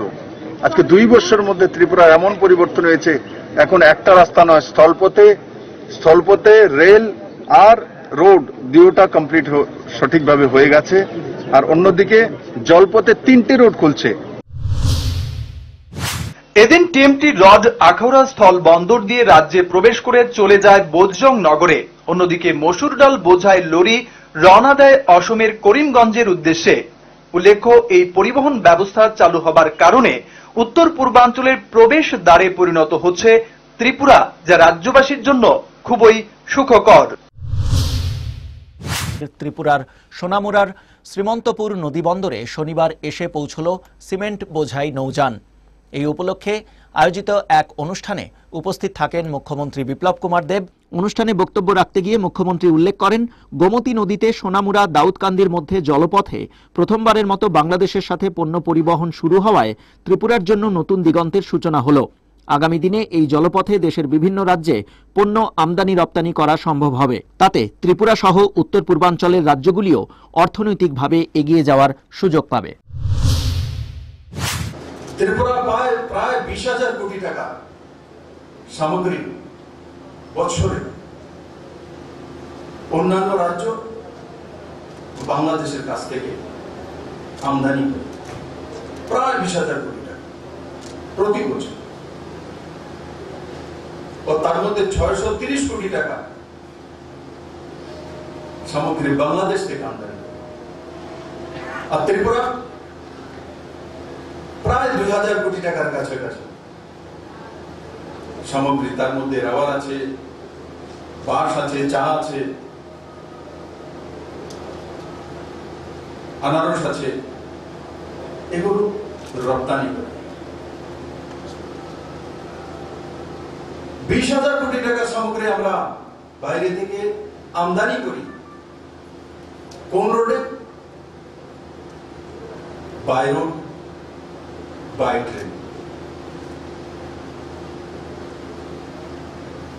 और কিছু কার্গোতে বাইরে বাংলাদেশের কুমিল্লার দাউদকান্দি দিয়ে ত্রিপুরার সঙ্গে ঐতিহাসিক পরীক্ষামূলকভাবে নৌ যোগাযোগ শুরুর শুভ মুহূর্তে আমি নিজে ব্যক্তিগতভাবে সোনামুরার একজন নাগরিক হিসাবে সমগ্র মহকুমা তথা সিপাহীজলা জেলাবাসীর পক্ষ থেকে এই মুহূর্তটি, যার ঐকান্তিক প্রচেষ্টায় এবং দৃঢ়চেতা মনোভাবের জন্য আজকে আমরা এই মুহূর্তটিকে স্বপ্ন পূরণ হিসাবে আমরা সোনামুরাবাসী তথা ত্রিপুরাবাসী, সমগ্র উত্তর পূর্বাঞ্চলের নাগরিকরা সেটাকে অনুভব করছি যে স্বপ্ন পূরণ হচ্ছে আমাদের।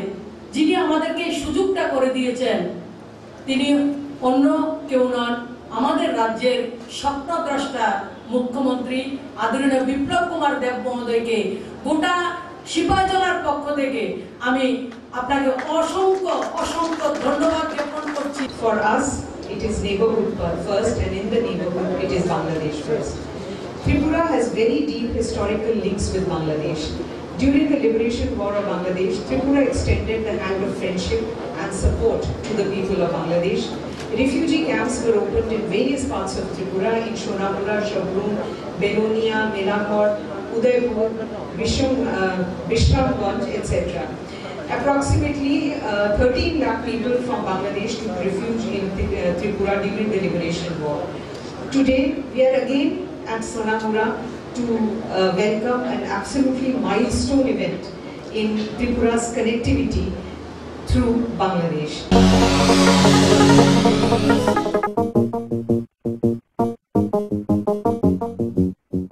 Babri Masjid মামলা থেকে বেকসুর খালাস লালকৃষ্ণ আদবানি, মুরলী মনোহর যোশী, উমা ভারতী, কল্যাণ সিং সহ বত্রিশ জন বিজেপির শীর্ষ নেতৃত্ব। উত্তরপ্রদেশের বিশেষ আদালত বুধবার ত্রিশ সেপ্টেম্বর এই রায় ঘোষণা করেন। উনিশশো বিরানব্বই সালে গুঁড়িয়ে দেওয়া হয়েছিল বাবরি মসজিদ। অভিযোগ ছিল তাদের প্ররোচনায় ভাঙা হয়েছিল বাবরি মসজিদ। দীর্ঘ আঠাশ বছর পরে দেওয়া হলো এই রায়। কুড়ির কুড়ি সেরা খবরে স্থান করে নেয় এই খবরটিও। বাবরি মসজিদ মামলায় অভিযুক্তরা সবাই বেকসুর খালাস। বুধবার উত্তরপ্রদেশের আদালতের রায়ে বেকসুর খালাস আদবানি যোশী সহ বত্রিশ জন অভিযুক্ত। এদিন আদালতের বিচারপতি বলেন, বাবরি মসজিদ ধ্বংসের ঘটনা পরিকল্পিত ছিল না। এই মামলায় সে কারণে প্রত্যেককেই বেকসুর খালাস করা হয়েছে। লখনৌয়ের বিশেষ আদালতে চব্বিশ বছরের পুরনো এই মামলার রায় ছিল বুধবার। আর সেই রায়ে মুক্তি পেলেন বিজেপি নেতৃত্ব লালকৃষ্ণ আদবানি, মুরলী মনোহর যোশী ও উমা ভারতী সহ বত্রিশ জন। যদিও এই তিনজন এদিন আদালতে উপস্থিত ছিলেন না। ভিডিও লিঙ্কের মাধ্যমে তারা যোগ দেন। জানা গেছে, করোনা আক্রান্ত হওয়ার কারণে আদালতে আসতে পারেননি উমা ভারতী ও কল্যাণ সিং। করোনা থেকে সদ্য সেরে ওঠার জন্য আসেননি নৃত্য গোপাল দাসও। বাবরি মসজিদ ধ্বংস মামলায় যে উনপঞ্চাশ জন অভিযুক্ত ছিলেন, তাদের মধ্যে বর্তমানে জীবিত রয়েছেন বত্রিশ জন। এদের মধ্যে ২৬ জন আদালতে উপস্থিত ছিলেন।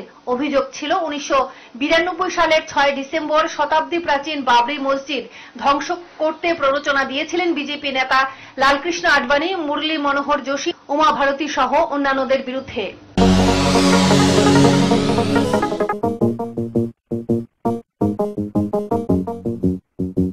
তিপ্রালেন সহ পাঁচ দফা দাবিকে সামনে রেখে পনেরো অক্টোবর আইপিএফটি চব্বিশ ঘণ্টা এডিসি বন্ধের ডাক দিয়েছিল। ওই বন্ধের প্রভাব দেখা যায় এডিসি এলাকায়।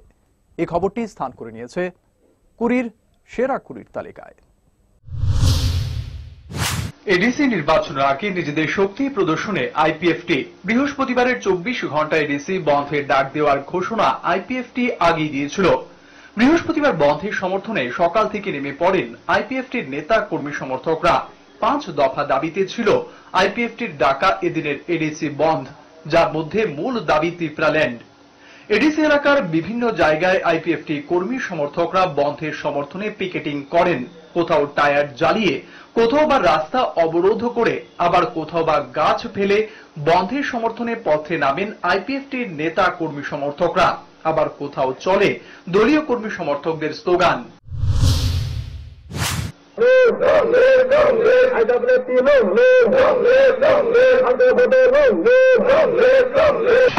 পাঁচটি ডিমান্ড নিয়ে আমরা আজকে বন্ধ চব্বিশ ঘণ্টা বন্ধ দেখেছি নাম্বার ওয়ান হলো আমাদের creation of new state that is Tipraland আমরা সবাই জানি যে দুই হাজার নয় থেকে আইপিএফটি আলাদা রাজ্য এডিসিকে নিয়ে ভারতের সংবিধান তিন দুই এবং তিন দ্বারা দীর্ঘ বছর দাবি করছি। আর দুই নম্বরে আছে হাই পাওয়ার মডেলিটি কমিটি, এই রিপোর্টগুলো যাতে অতি সত্ত্বের ইমপ্লিমেন্ট করা হোক। কারণ আমরা জানি, বিধানসভার আগে আমাদের সেন্ট্রাল গভর্নমেন্ট যে কমিটমেন্টগুলো দিয়েছে, সেই কমিটমেন্ট হলো হাই পাওয়ার মডেলিটি কমিটি, এটা অলরেডি হয়ে গেছে কিন্তু রিপোর্টগুলো এখনও সাবমিট করা হয়নি। কুমলুঙে এডিসি বন্ধের প্রভাবও ভালো রকম পরিলক্ষিত হয়। অফিস, দোকানপাট, বাজার সব জায়গাতেই বন্ধের প্রভাব পড়ে। আইপিএফটির ডাকা এদিনের চব্বিশ ঘণ্টা এডিসি বন্ধের প্রভাব পড়ে, আসাম, আগরতলা জাতীয় সড়কেও। এদিকে উদয়পুরের গর্জিতে দুটি গাড়ি ভাঙচুরের ঘটনা সামনে আসে। অভিযোগ, বন্ধ সমর্থনকারীরা নাকি এই গাড়ি ভাঙচুর করেছেন।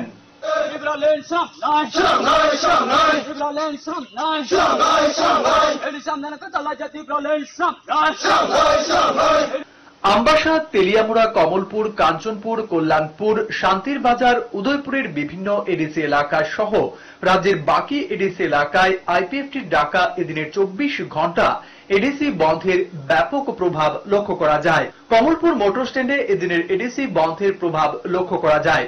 আইপিএফটির ডাকা এদিনের চব্বিশ ঘণ্টা এডিসি বন্ধকে ঘিরে জোরদার নিরাপত্তা ব্যবস্থা ছিল। বিক্ষিপ্ত কয়েকটি ঘটনা ছাড়া আইপিএফটির ডাকা এদিনের চব্বিশ ঘণ্টা এডিসি বন্ধ ছিল শান্তিপূর্ণ। এদিনের ডাকা এই এডিসি বন্ধের মধ্য দিয়ে এডিসি নির্বাচনের আগে নিজেদের শক্তি যাচাই করে নিল আইপিএফটি বলে মনে করছেন রাজনৈতিক মহল।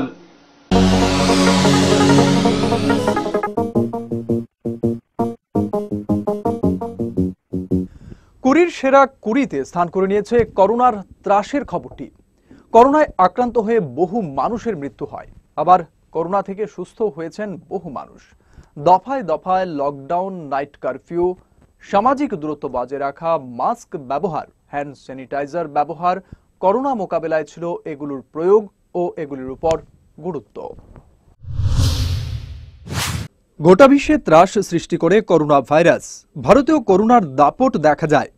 এখনও পর্যন্ত দেশে করোনায় আক্রান্তের সংখ্যা এক কোটি ছাড়িয়ে গেছে। করোনায় আক্রান্ত হয়ে দেশে মৃতের সংখ্যা এখনও পর্যন্ত এক লক্ষ ছাড়িয়েছে। করোনা থেকে দেশে সুস্থ হয়ে ওঠার সংখ্যা এখনও পর্যন্ত আটানব্বই লক্ষ অতিক্রম করেছে। ত্রিপুরাতেও করোনার ব্যাপক প্রভাব দেখা যায়। এখনও পর্যন্ত করোনায় আক্রান্ত হয়ে ত্রিপুরায় মৃত্যু হয়েছে তিনশো বিরাশি জনের।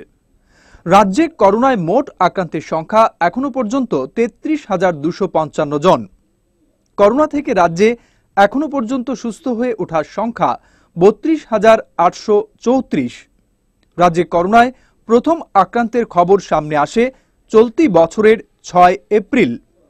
উদয়পুরের বাসিন্দা এক মহিলা এ রাজ্যে করোনায় প্রথম আক্রান্ত হন, পরে তিনি সুস্থ হয়ে ওঠেন। দফায় দফায় লকডাউন, নাইট কারফিউ সামাজিক দূরত্ব বজায় রাখা, মাস্ক ব্যবহার, হ্যান্ড স্যানিটাইজার ব্যবহার, করোনা মোকাবেলায় ছিল এগুলোর প্রয়োগ ও এগুলির উপর গুরুত্ব।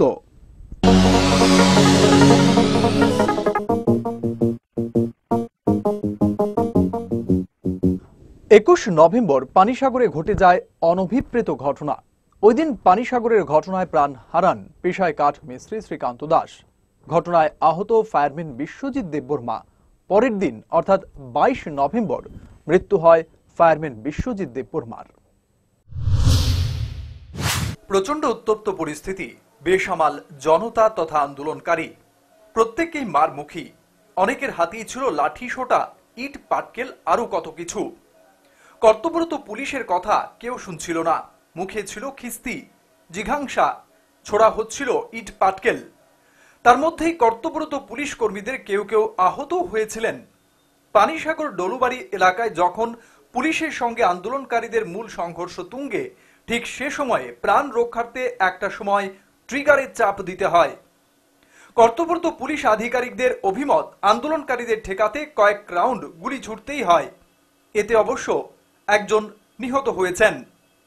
পরিস্থিতি যাতে আরও বিপজ্জনক না হয়ে ওঠে, সহিংসতা যাতে আরও বিস্তৃত এলাকায় ছড়িয়ে না পড়ে সেই প্রচেষ্টা প্রথম দিক থেকে চালিয়ে যাচ্ছিল কর্তব্যরত পুলিশ তথা আরক্ষা কর্মী। সূত্রটির দাবি, সম্পূর্ণ পূর্ব পরিকল্পিতভাবে আন্দোলনকারীরা পুলিশের ওপর হামলা হেনেছিল। এলাকার সার্বিক অবস্থা ঠিকঠাক রাখার ক্ষেত্রে গত কদিন ধরে পুলিশ আপ্রাণ চেষ্টা চালিয়ে যাচ্ছিল যা আন্দোলনকারীদের চোখের বিষ হয়ে দাঁড়ায়। সেজন্য কর্তব্যরত পুলিশের অনেককেই গুরুতরভাবে রক্তাক্ত আহত করা হয়। আহত হয়েছেন মহিলা পুলিশ কর্মীও। অন্তত গুলি ছোঁড়ার আগে যে প্রসেস পূরণ করতে হয় সেটাও পুলিশের তরফে গ্রহণ করা হয়েছিল। কিন্তু তাতে আন্দোলনকারীরা নিরস্ত্র হয়নি।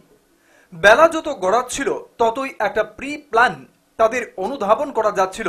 জেলা পুলিশ আধিকারিকদের তরফে এই ঘটনার পরিপ্রেক্ষিতে জানানো হয়েছে, আইনি শৃঙ্খলকে সামনে রেখে এবং আন্দোলনকারীদের মোটিভ তথা আন্দোলনের ধরনকে বিচার করার পরিপ্রেক্ষিতে কিছুটা প্রতিকূলতা সৃষ্টি হয়েছিল। কিন্তু মারাত্মকভাবে জখম হয়ে যাবার পরও পুলিশ তার আইনি দায়িত্ব যথাযথভাবে পালন করার চেষ্টা করেছে।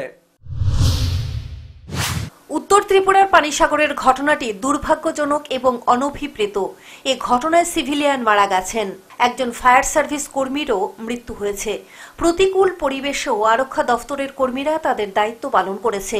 এই সমস্ত ঘটনাবলীকে কেন্দ্র করে সামাজিক যোগাযোগ মাধ্যমে সম্পূর্ণ পরিকল্পিতভাবে সাম্প্রদায়িক সহিংসতার রং চড়িয়ে দেওয়ার জন্য কিছু এডিট করা ভিডিও ছড়িয়ে দেওয়া হচ্ছে। রবিবার এই বিষয়টিতে টিপ্পণী করল ত্রিপুরা পুলিশ। ত্রিপুরা পুলিশের তরফে ওয়েবসাইট প্রদত্ত বার্তায় পরিষ্কারভাবে জানিয়ে দেওয়া হয়েছে, বিষয়গুলি ত্রিপুরা পুলিশের নজরে রয়েছে। জাতিগত বিদ্বেষ ছড়িয়ে দেওয়ার অভিপ্রায়ে ওই সমস্ত ভিডিও যারা শেয়ার করেছেন কিংবা করছেন, তারা মূলত দণ্ডনীয়, আইনি অপরাধ কর্ম করছেন। এইসব জাতিবিদ্বেষমূলক ভিডিও তথা গুজব যারা ছড়িয়ে দিচ্ছে, তাদের বিরুদ্ধে কঠোর আইনানুগ ব্যবস্থা নেওয়া হচ্ছে।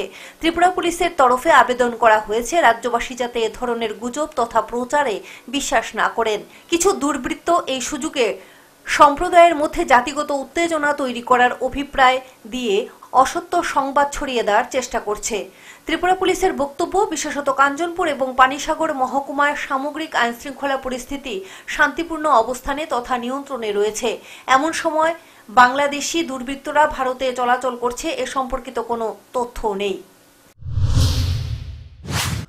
হেডলাইন্স ত্রিপুরার বিশেষ অনুষ্ঠান কুড়ির সেরা কুড়ি, এই পর্যন্তই। হেডলাইন্স ত্রিপুরার পক্ষ থেকে ইংরেজি নববর্ষের আগাম শুভেচ্ছা সকলকে। নমস্কার। よし。